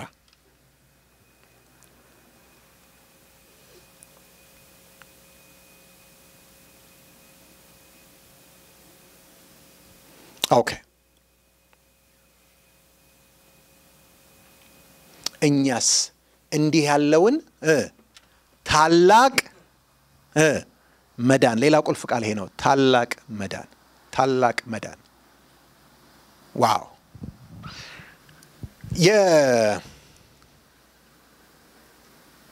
የዕብራውያን መልእክት በጣም ብዙ theological ሀሳቦችን ነው የሚያነሳው። Christology፣ angelology፣ eschatology ብዙ ብዙ ጥናቶችን ነው የሚያነሳው። ከነዛ ውስጥ አንዱ soteriology ነው። ምን ማለት ነው? የመዳን ጥናት፣ ስለ መዳን የሚደረግ ጥናት ማለት ነው። ሳልቬሽን አንድ ነገር እንድታውቁ እፈልጋለሁ። ምኑን ነው ቸል ብንል እንዴት እናመልጣለን የሚልን ይሄንን ታላቅ መዳን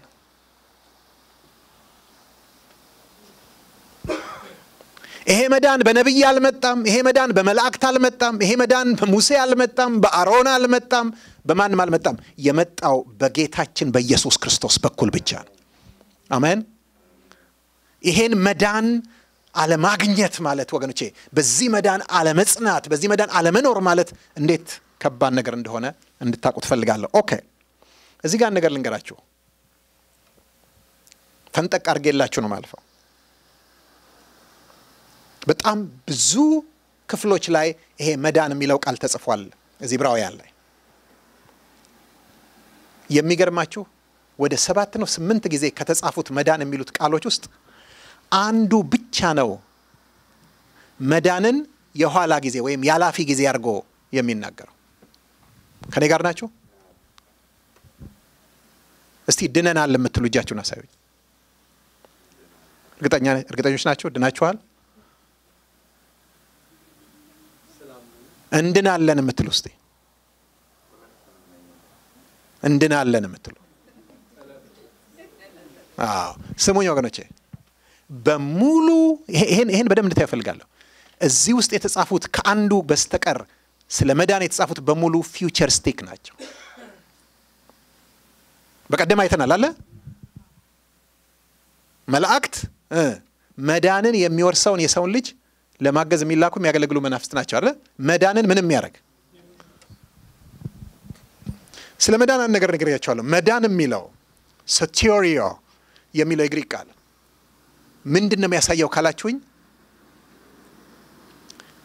deliverance እና preservance ወይም preserved መሆንን የሚያሳይ ነው። ለምንድን ይሄን ማነሳላችሁ? እኛ ብዙ ጊዜ መዳንን ከምን አንጻር ነው የምናየው? ከ deliverance አንጻር የምናየው። deliverance ማለት ከክፉ እጅ መያዝ ከማይገባን እጅ ምን መሆን ነው? መውጣት ነው። ግን መውጣት ብቻ ሙሉ መዳን አይደለም። preserve ደግሞ መደረግ መያዝ በሚገባን እጅ ደግሞ መያዝ አለብን። ወገኖቼ ጌታን ስንቀበል መንፈሳችን ዳግም ተወልዶ ከጨለማው ኃይል ከኃጢአት ዕዳ ከዘላለም ሞት ሞት ከኃጢአትና ከሰይጣን ምን ሆኗል? ወጥቶ በእግዚአብሔር እጅ መንፈሳችን ምን ሆኗል? ተይዟል። ግን ያ ብቻውን በቂ አይደለም። ልክ እንደዚሁ ደግሞ ነፍሳችን ማለትም ሀሳባችን፣ ስሜታችን፣ ፈቃዳችን ከተያዘባቸው ስጋዊ ማንነቶች ወጥቶ በመንፈስ ቅዱስ እጅ መያዝ አለበት። ግን ያ ብቻ በቂ አይደለም። ይሄ ሰውነታችን፣ ስጋችን፣ አጥንታችን፣ ጅማታችን፣ ቅልጥማችን ሳይቀር አሁን የተያዘው በስጋ ህይወት ነው። ኮራፕትድ በሆነ በሚደክም፣ በሚታመም፣ በሚሞት፣ በሚበሰብስ ነው የተያዘው። ግን ከዚህ ወጥቶ በማ መያዝ አለበት? በመንፈስ ቅዱስ መያዝ አለበት። እግዚአብሔር ግን ይሄንን በምንድን ነው የሰራው? በፕሮግራም ነው የሰራው። ስናምን የመንፈስ ዳግም ልደት እናገኛለን። ከዛ በኋላ ዕለት ዕለት ደግሞ ራሳችንን እየካድን መስቀሉን እየተሸከምን ክርስቶስን ስንከተል ደግሞ የነፍስን መዳን እናገኛለን። ከዛ በኋላ ጌታ ኢየሱስ ክርስቶስ ዳግም በሚመጣበት ጊዜ ደግሞ ስጋችን በመንፈስ ቅዱስ ይያዛል ወይም ደግሞ ይነሳል። ይህንን ሄዳችሁ አንዳንድ ክፍሎች ላይ ብታነቡት በሶስት ያስቀምጠዋል። justification፣ sanctification፣ glorification። ምን ማለት ነው? በኢየሱስ ክርስቶስ አምነን ዳግም ስንወለድ ጸደቅን። መጽደቅ የመንፈሳችን ዳግም ልደት ነው። ከዛ በኋላ ግን ምን ይቀጥላል? sanctification ወይም ቅድስና። ለዚህ ነው አንደኛ ቆሮንቶስ ምዕራፍ አንድን ሄዳችሁ ብትመለከቱ ሐዋርያ ሊሆን የተጠራ ጳውሎስ ወንድሙም ሶስቴንስ በቆሮንቶስ ስላለው ቤተ ክርስቲያን ይልና በክርስቶስ ኢየሱስ ለተቀደሱ ቅዱሳንም ለመሆን ለተጠሩ ይላል። ይሲ በክርስቶስ ኢየሱስ ለተቀደሱ ቅዱሳንም ለመሆን ለተጠሩ ሄዳችሁ አንደኛ ቆሮንቶስ ምዕራፍ አንድ ቁጥር አንድን ተመልከቱት። ስለዚህ ቅዱሳን ለመሆን ለተጠሩ ነው የሚለው። sanctification የምንለው እሱን ነው። ከዛስ በኋላ glorification የምንለው ደግሞ ኢየሱስ ክርስቶስ ሲመጣ እና ክብሩ በእኛ ምን ሲሆን ሲገለጥ ነው። አሜን። የመጀመሪያው ቅጽበታዊ ነው። ሁለተኛው ሂደታዊ ነው። ሶስተኛው ቅጽበታዊ ነው። በቅጽበት ሰው በክርስቶስ ኢየሱስ በማመን ዳግም ይወለዳል፣ ይጸድቃል። መንፈሱ ዳግም አዲስ ሕይወት ይሆናል። ከዛስ በኋላ የነፍስ መዳን የምንለው ግን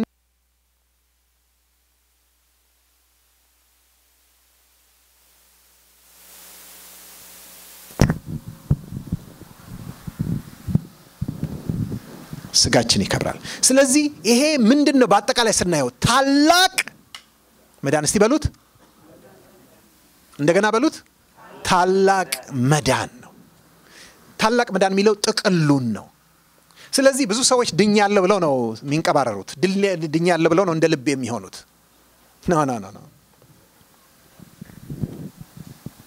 መዳናችን የተቀበልነውና የተካፈልነው ብቻ ሳይሆን ገና የምንፈጽመውም ነው።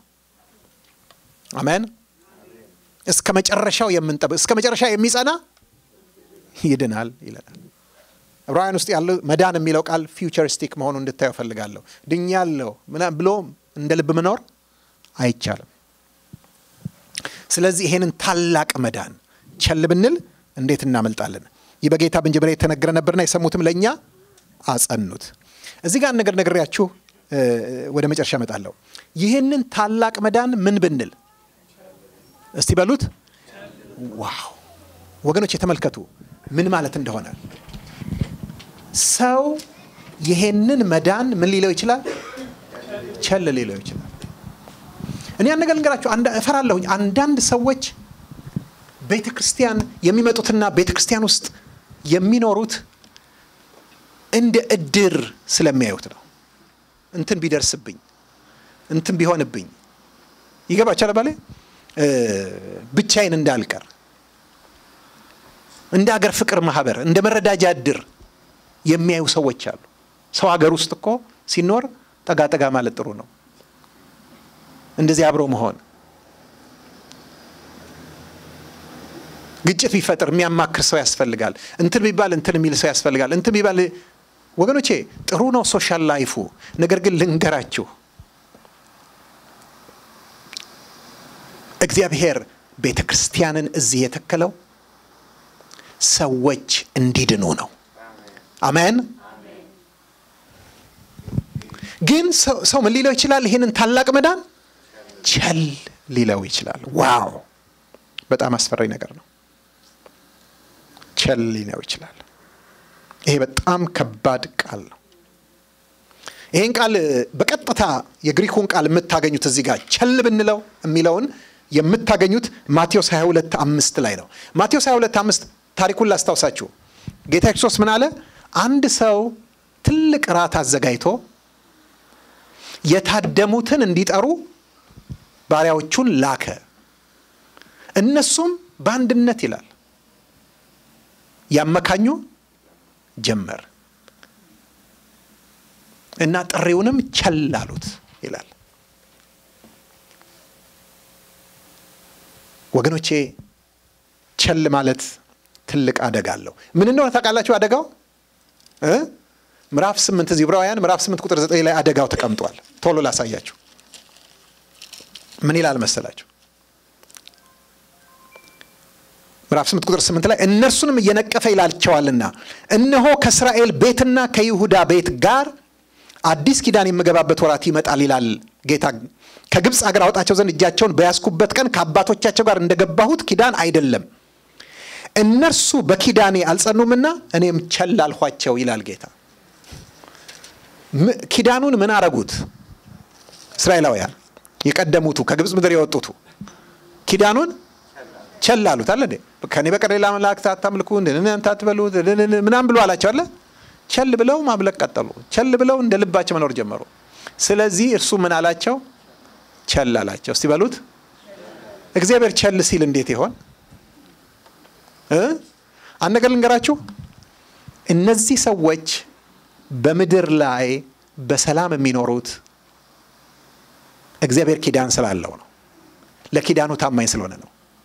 ዝናብን የሚሰጣቸው ፀሐይን የሚያወጣላቸው በዙሪያቸው ካሉ ሀያላን መንግስታት የሚጠብቃቸው ምን ስላለ ነው? ኪዳን ስላለው ነው። እግዚአብሔር ምን አላቸው? ቸል አላቸው።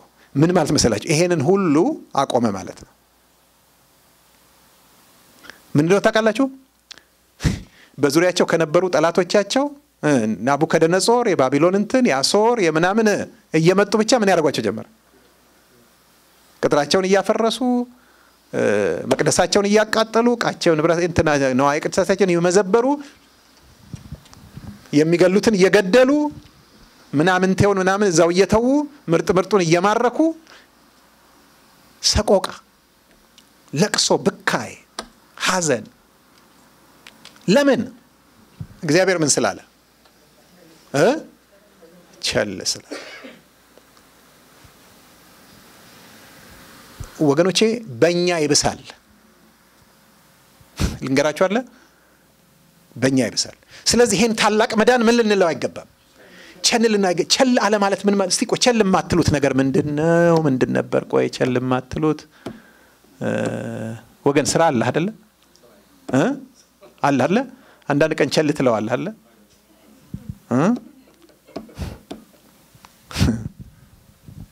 አይገርምም? ቸል አይለውም። ምክንያቱም ቸል ቢለው እሱ ዶላሩም ቸል ይለዋል አይደል እንዴ? ዶላሩ ደግሞ ቸል አለው ማለት የቤት ኪራይ የሚከፈል የለም፣ ፍሪጅ ውስጥ የሚገባ ምግብ የለም አይደል እንዴ? እንትን የለም፣ ቢል የሚከፈል የለም። ወገኖች የዚህ ሀገር ደግሞ በሶስተኛው ነው በስንተኛው ቀን ነው አይደል አምጥተው የሚለጥፉላችሁ የፍርድ ቤት እንትን መጥሪያ አሜዚንግ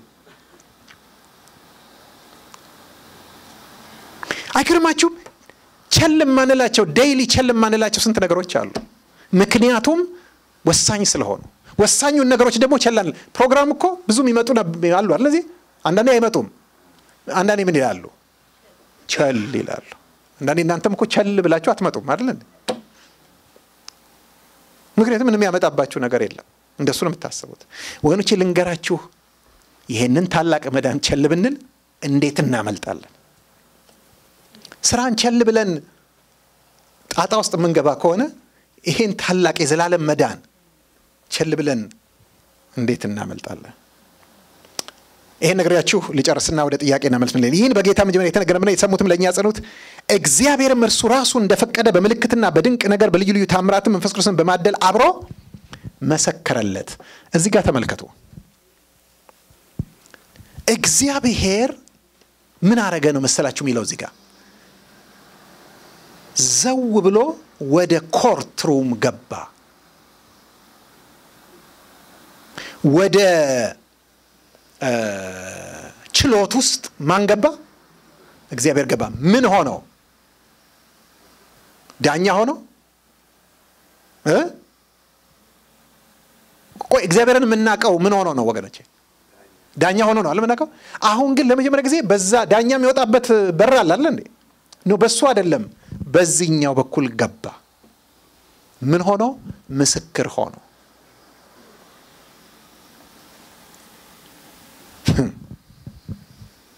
ዳኛው ማን ነው ካላችሁኝ የሰዎች ህሊና ነው።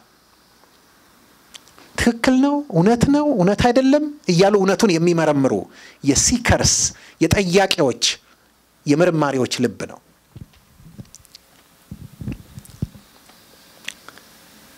እግዚአብሔር ራሱ ገባና ምን አደረገ? መሰከረ። ለማ ለልጁ። ሃሌሉያ አሜን። ልጁ ለተናገረው ነገር ልጁ ለተናገረው ነገር መሰከረ። በምንድን ነው የመሰከረው ካላችሁኝ እግዚአብሔር እርሱ ራሱ እንደፈቀደ በምልክትና በድንቅ ነገር በልዩ ልዩ ታምራትን መንፈስ ቅዱስን በማደል አብሮ መሰከረለት። እዚህ ጋር ልብ ብላችሁ እንድሰሙ የሚፈልገው ነገር አለ። በኢየሱስ ክርስቶስ አገልግሎት ውስጥ እነዚህ ነገሮች እናይ ነበር አልነበረም? ድንቆች፣ ምልክቶች፣ ታምራቶችን እናያለን። ከዛ በኋላ በሐዋርያት ውስጥ አገልግሎት እናያለን አናይም? እናያለን። ግን አንድ ነገር ተመልከቱ። ዓላማቸው ምንድን ነው ካላችሁኝ ልጁ የተናገረው እውነት መሆኑን ትክክል መሆኑን ለመመስከር ነው። ነገር የድንቅና ታምራት ምልክቶች የከሌ አገልግሎት ትክክለኛ መሆኑንም ምስክሮች አይደሉም። የኔ የከሌ አገልግሎት ትክክለኛ መሆኑን ለማረጋገጥ እግዚአብሔር ታምራት አይሰራም።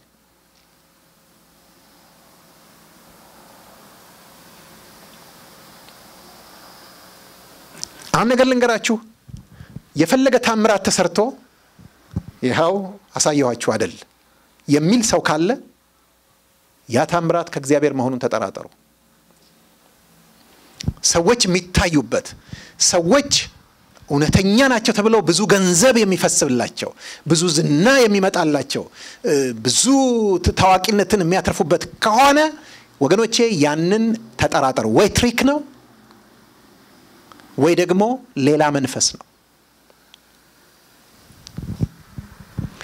እውነተኛው የክርስቶስ ቃል ያልተሸቀጠ ያልተለወጠ ወንጌል የክርስቶስ ትምህርት የሚነገርበት ከሆነ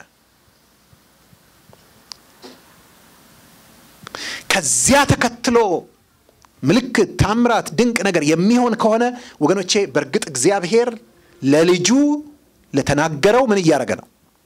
እየመሰከረ ነው። እግዚአብሔር ዛሬም ይመሰክራል። ጌታ ይመስገን፣ ይመሰክራል።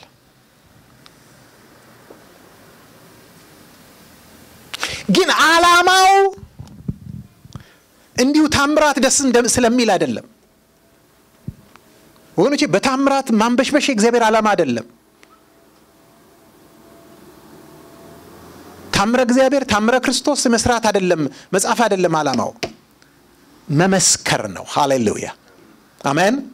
ለማ ለልጁ ለተናገረው። ስለዚህ ልጁ የተናገረው እውነት ነው። ቸል አንበለው፣ ከእጃችን እንዳይወጣ፣ እንዳያመልጠን፣ እንዳይንሸራተትብን፣ እንዳይወሰድ እንጠንቀቅ። ምክንያቱም ፍጻሜ አለው፣ አደጋ አለው። ቸላን በለው። እለት ዕለት እናስበው። ዛሬ ምንድን ነው ልጁ ያለው እያላችሁ እንቅልፍ ይውሰዳችሁ። ጠዋት ስትነቁ የመጀመሪያ ነገር አእምሯችሁ ውስጥ የሚመጣው ልጁ ምን አለ የሚለው ይሆን? እኔስ ልጁ ያለውን ምን አረኩት? ልጁ ምን ብሏል? ወገኖቼ እባካችሁ ወደ ቃሉ ተመለሱ፣ ትድናላችሁ። ሃሌሉያ። እግዚአብሔር የተመሰገነ ይሁን። ክብር ለእግዚአብሔር ይሁን። በዚህ አጋጣሚ በተለይ በፌስቡክ እና በዩቲዩብ የምትከታተሉ ይሄንን ድምፅ የምትሰሙ በተለይ ደግሞ ከዚህ ቀደም ኢየሱስ ክርስቶስን የሕይወታችሁ ጌታና የነፍሳችሁ መድኃኒት አድርጋችሁ ያልተቀበላችሁ ዛሬም በልዩ ልዩ ኃጢአት ውስጥ የምትኖሩ አሁን በዚህ ሰዓት ብትሞቱ ወዴት እንደምትሄዱ እርግጠኞች ያልሆናችሁ።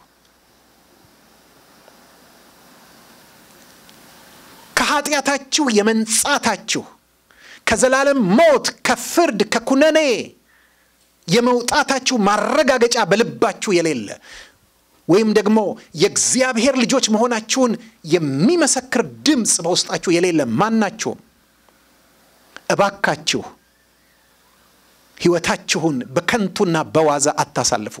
ህይወት ክቡር ነው። ሰው ዘላለማዊ ሆኖ ነው የተፈጠረው። ስለዚህ ዘላለማችሁን አታጥፉ። ይልቅ ግን አሁን በዚህ ሰዓት ከመላእክት እጅግ የሚበልጥን ስም የወረሰው እግዚአብሔር አብ ወደ ዓለም የላከው ከድንግል ማርያም በስጋ የተወለደው ስለ ኃጢአታችን የሞተው ሞትንም አሸንፎ የተነሳው ወደ ሰማያትም ሄዶ በግርማው ቀኝ የተቀመጠው አንድ ቀን በክብር የሚመጣው ኢየሱስ ክርስቶስ እርሱ የነፍሳችሁ መድኃኒት የህይወታችሁ ጌታ እንዲሆን ዛሬ ልባችሁን ከፍታችሁ ተቀበሉት። ፈቃደኞች ከሆናችሁ በያላችሁበት ስፍራ ከኔ ጋር ይሄንን አጭር ጸሎት እንድጸልዩ ጠይቃችኋለሁ።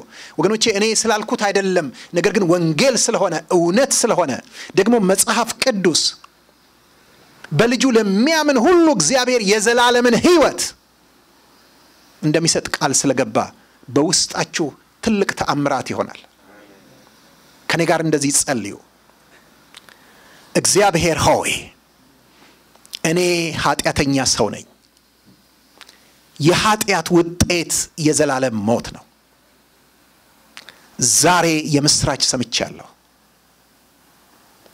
ከኃጢአቴ ልታድነኝ፣ ከዘላለምም ሞት ልታወጣኝ፣ ክብርን ልታወርሰኝ ልጅህን ኢየሱስ ክርስቶስን ስለ እኔ በመስቀል ላይ ሰጥተሃል። ይህ በመስቀል ላይ የዋለ ጌታ መድኃኒቴ ነው፣ ጌታዬ ነው። ደሙ ከኃጢአት ያነጻል። ይህ መድኃኒቴ ሞቶ አልቀረም። በሦስተኛው ቀን ሞትን አሸንፎ ተነስቷል። ይህንን ጌታ እርሱም የናዝሬቱ ኢየሱስን የነፍሴ መድኃኒት የሕይወቴ ጌታ አድርጌ ዛሬ እቀበለዋለሁ። ጌታ ኢየሱስ ሆይ ከኃጢአቴ አንጻኝ፣ በመንፈስህ ሙላኝ፣ አዲስ ሰው አድርገኝ። ከዛሬ ጀምሮ በሕይወቴ ዘመን ሁሉ እከተልሃለሁ። እግዚአብሔር አባት ሆይ ልጅህ ስላረከኝ፣ ስሜን በሕይወት መዝገብ ስለ ጻፍክ፣ አዲስ ሰው ስላረከኝ አመሰግንሃለሁ። በኢየሱስ ክርስቶስ ስም አሜን። ይህን ጸሎት የጸለያችሁ ሰዎች መጽሐፍ ቅዱሳችሁን በጥልቀት አንብቡ። እንደገናም ደግሞ በአካባቢያችሁ ከሚገኙ የጌታን ስም በንጹሕ ልብ ከሚጠሩ ጋር ህብረት አድርጉ። ጌታ ይባርካችሁ። አሁን በሚቀረን አስር ደቂቃ ወደ ጥያቄና መልስ እንሄዳለን። ስለዚህ I think ለሁንዴ እድሉን ብሰጠው ደስ ይለኛል። ምክንያቱም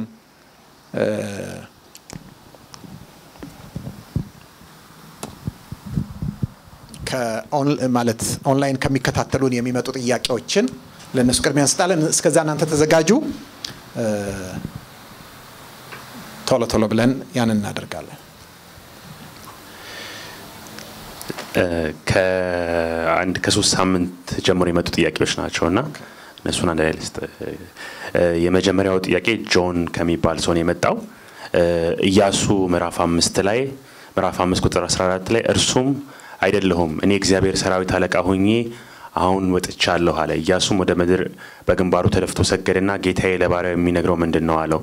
ታዲያ ኢያሱ ለምን ሰገደለት? ስለ መላእክት የሚደረግ ስግደት ላይ የተጠየቀ ጥያቄ ነው። ሁለተኛው ጥያቄ ደግሞ የመጣው ካስቻለው ነው። በብሉይ ኪዳን አንዳንድ ክፍሎች ላይ መላእክት ስግደት same thing ነው ስግደትን ሲቀበሉ እንመለከታለን። ኢየሱስ በመላእክትነት ካልተገለጠ እንዴት ስግደት ተቀበሉ? መልአኩ ምን ትላለ? ለምሳሌ ዮሐንስ ራእይ ላይ ሊሰግድ ሲል እኔም እንዳንተው ነኝ አትስግደልኝ ብሎ ሲከለክል እናያለን። እንዴት ታስታርቀዋለ? እዛኛው ላይ ምንም አይነት reaction በጣም በጣም ጥሩ ጥያቄ ነው። ትክክለኛ legitimate ጥያቄ ነው። ምንድን ነው በእነዚህ ቦታዎች ሁሉ ላይ የተገለጡት መላእክት ናቸው። ለምሳሌ የኢያሱ መገለጥ ጆን ያነሳው በጣም ከምን ጋር ተመሳሳይ ነው? ከዘፍጥረት ምዕራፍ ሶስቱ በቁጥቋጦ እሳት ለሙሴ ከተገለጠለት ጋር ተመሳሳይ ነው። በምን አወካላችሁኝ? ያ በቁጥቋጦ ላይ እሳት ሲነድ ነገር ግን ሳይቃጠል አየ። ለማውጣት የሆነ ነው። okay ህዝቡን ከግብፅ ምድር ምን ለማድረግ ለማውጣት የሆነ መገለጥ ነው። mission ኡ እሱ ነው፣ ኮሚሽኑ። ይሄኛው ደግሞ ለማግባት የሆነ ነው የኢያሱ አንድ አይነት እንደሆነ የምታውቁት ምንድን ነው? እዛ ጋም ምን አለ ሊቀርብ ሲል ሙሴ ሙሴ ብሎ ጠርቶ እግዚአብሔር ነው አለ የሚለው ጠርቶ የቆምክበት ስፍራ የተቀደሰ ነው፣ ጫማን ከእግርህ አውልቅ አለው። እዚህ ጋም ኢያሱን ምን አለው? እኔ እግዚአብሔር ሰራዊት አለቃ ሆኜ መጥቻለሁ። የቆምክበት ስፍራ የተቀደሰ ነውና ጫማን ከእግርህ አውልቅ same thing ያም ለማ- ለማውጣት ነው፣ ይሄኛው ደግሞ ለማግባት ነው። እዚህኛው ጋር መልአክ ይሁን ማን እንደሆነ አናቅም አይደለ እንዴ? ግን እዛ ጋር ማን እንደሆነ አዲስ ኪዳን ላይ ተነግሮናል አልተነገረንም? ተነግሮናል። ግን አዲስ ኪዳን ላይ ሄደህ ይኸው ጆን ወይም ሁላችሁም ይሄ ጥያቄ ያለባችሁ ሐዋርያት ሥራ ምዕራፍ ሰባት ላይ ሄዳችሁ ስትመለከቱ በቁጥቋጦ ላይ በእሳት የተገለጠለት መልአክ ነው ይለናል።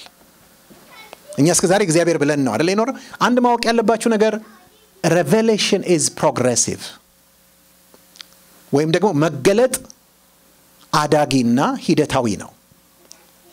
ግን ያ መገለጥ በማን ተዘግቷል? በክርስቶስ መምጣት ተዘግቷል። አሁን ክርስቶስ ከመጣ በኋላ መገለጥ አዳጊና ሂደታዊ አይደለም፣ አለቀ። እስከ ክርስቶስ ድረስ ግን ዕብራውያን እኮ ምዕራፍ አንድ የሚነግረን ይሄንን ነው። እግዚአብሔር ይላል አይደል? በጥንት ዘመን ለአባቶቻችን በነቢያት ብዙ መንገድ ተናግሮ ይለናል አለ። ከዛስ ሁሉን ወራሽ ባደረገው በልጁ ተናገረን ሲል ምን ምን አደረገ ማለት ነው? መገለጡ እነሱ እኮ final ነው ብለው ያንን ተቀብለው ነበር። no no no no ይሄኛው ነው final የሚል መጣ፣ አደገ ማለት ነው። በነቢያት በተናገረውና በልጁ በተናገረው መካከል ያለው ልዩነት የ false ና የ true አይደለም። okay የ quality ልዩነት ነው ያለው። በነቢያት እኮ ተናግረዋል። ማን የተናገረው? እግዚአብሔር ነው። ትክክል ነው።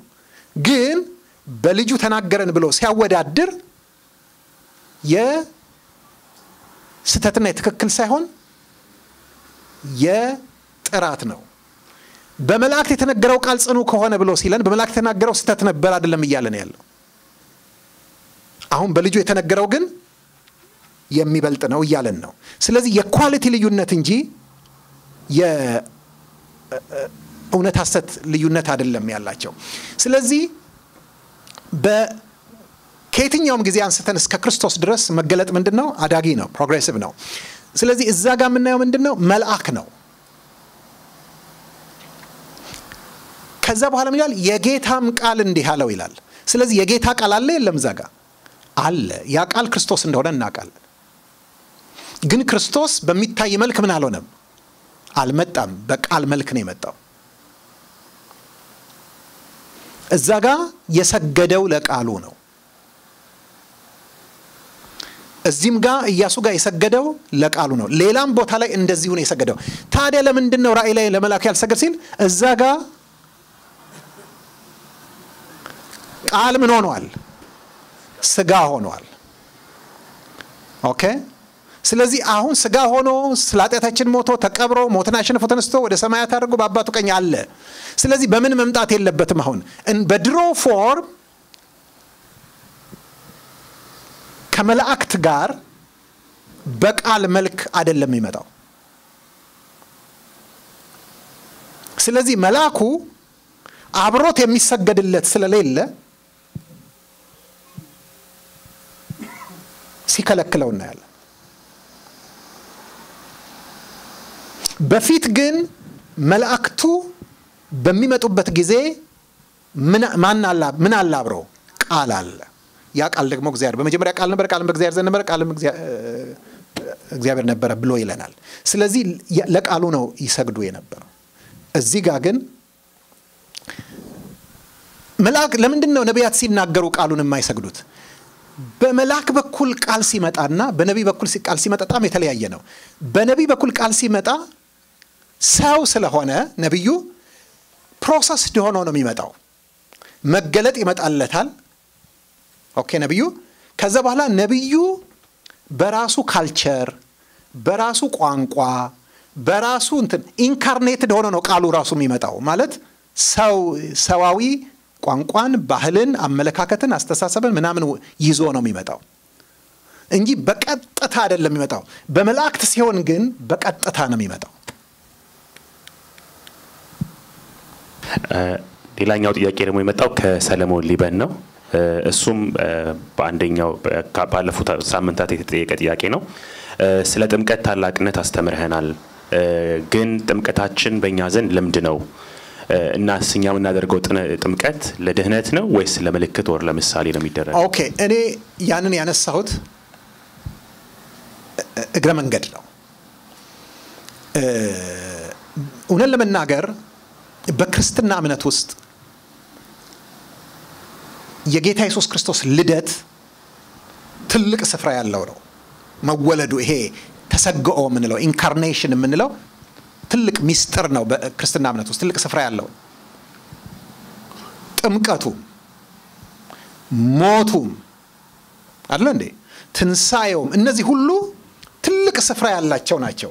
ለምንድን ነው ያለ ጥምቀት ላይ ትልቅ ስፍራ የሰጠው ስል ጥምቀቱ ላይ አይደለም ውሃ ውስጥ ገብቶ መውጣቱ ላይ አይደለም ትልቅ ስፍራ የሰጠሁት እዛ ጋር የተከናወነው ነገር ላይ ነው። ስሙም እንኳ የተሰጠው ጥምቀት ያልተባለው ለዚህ ነው።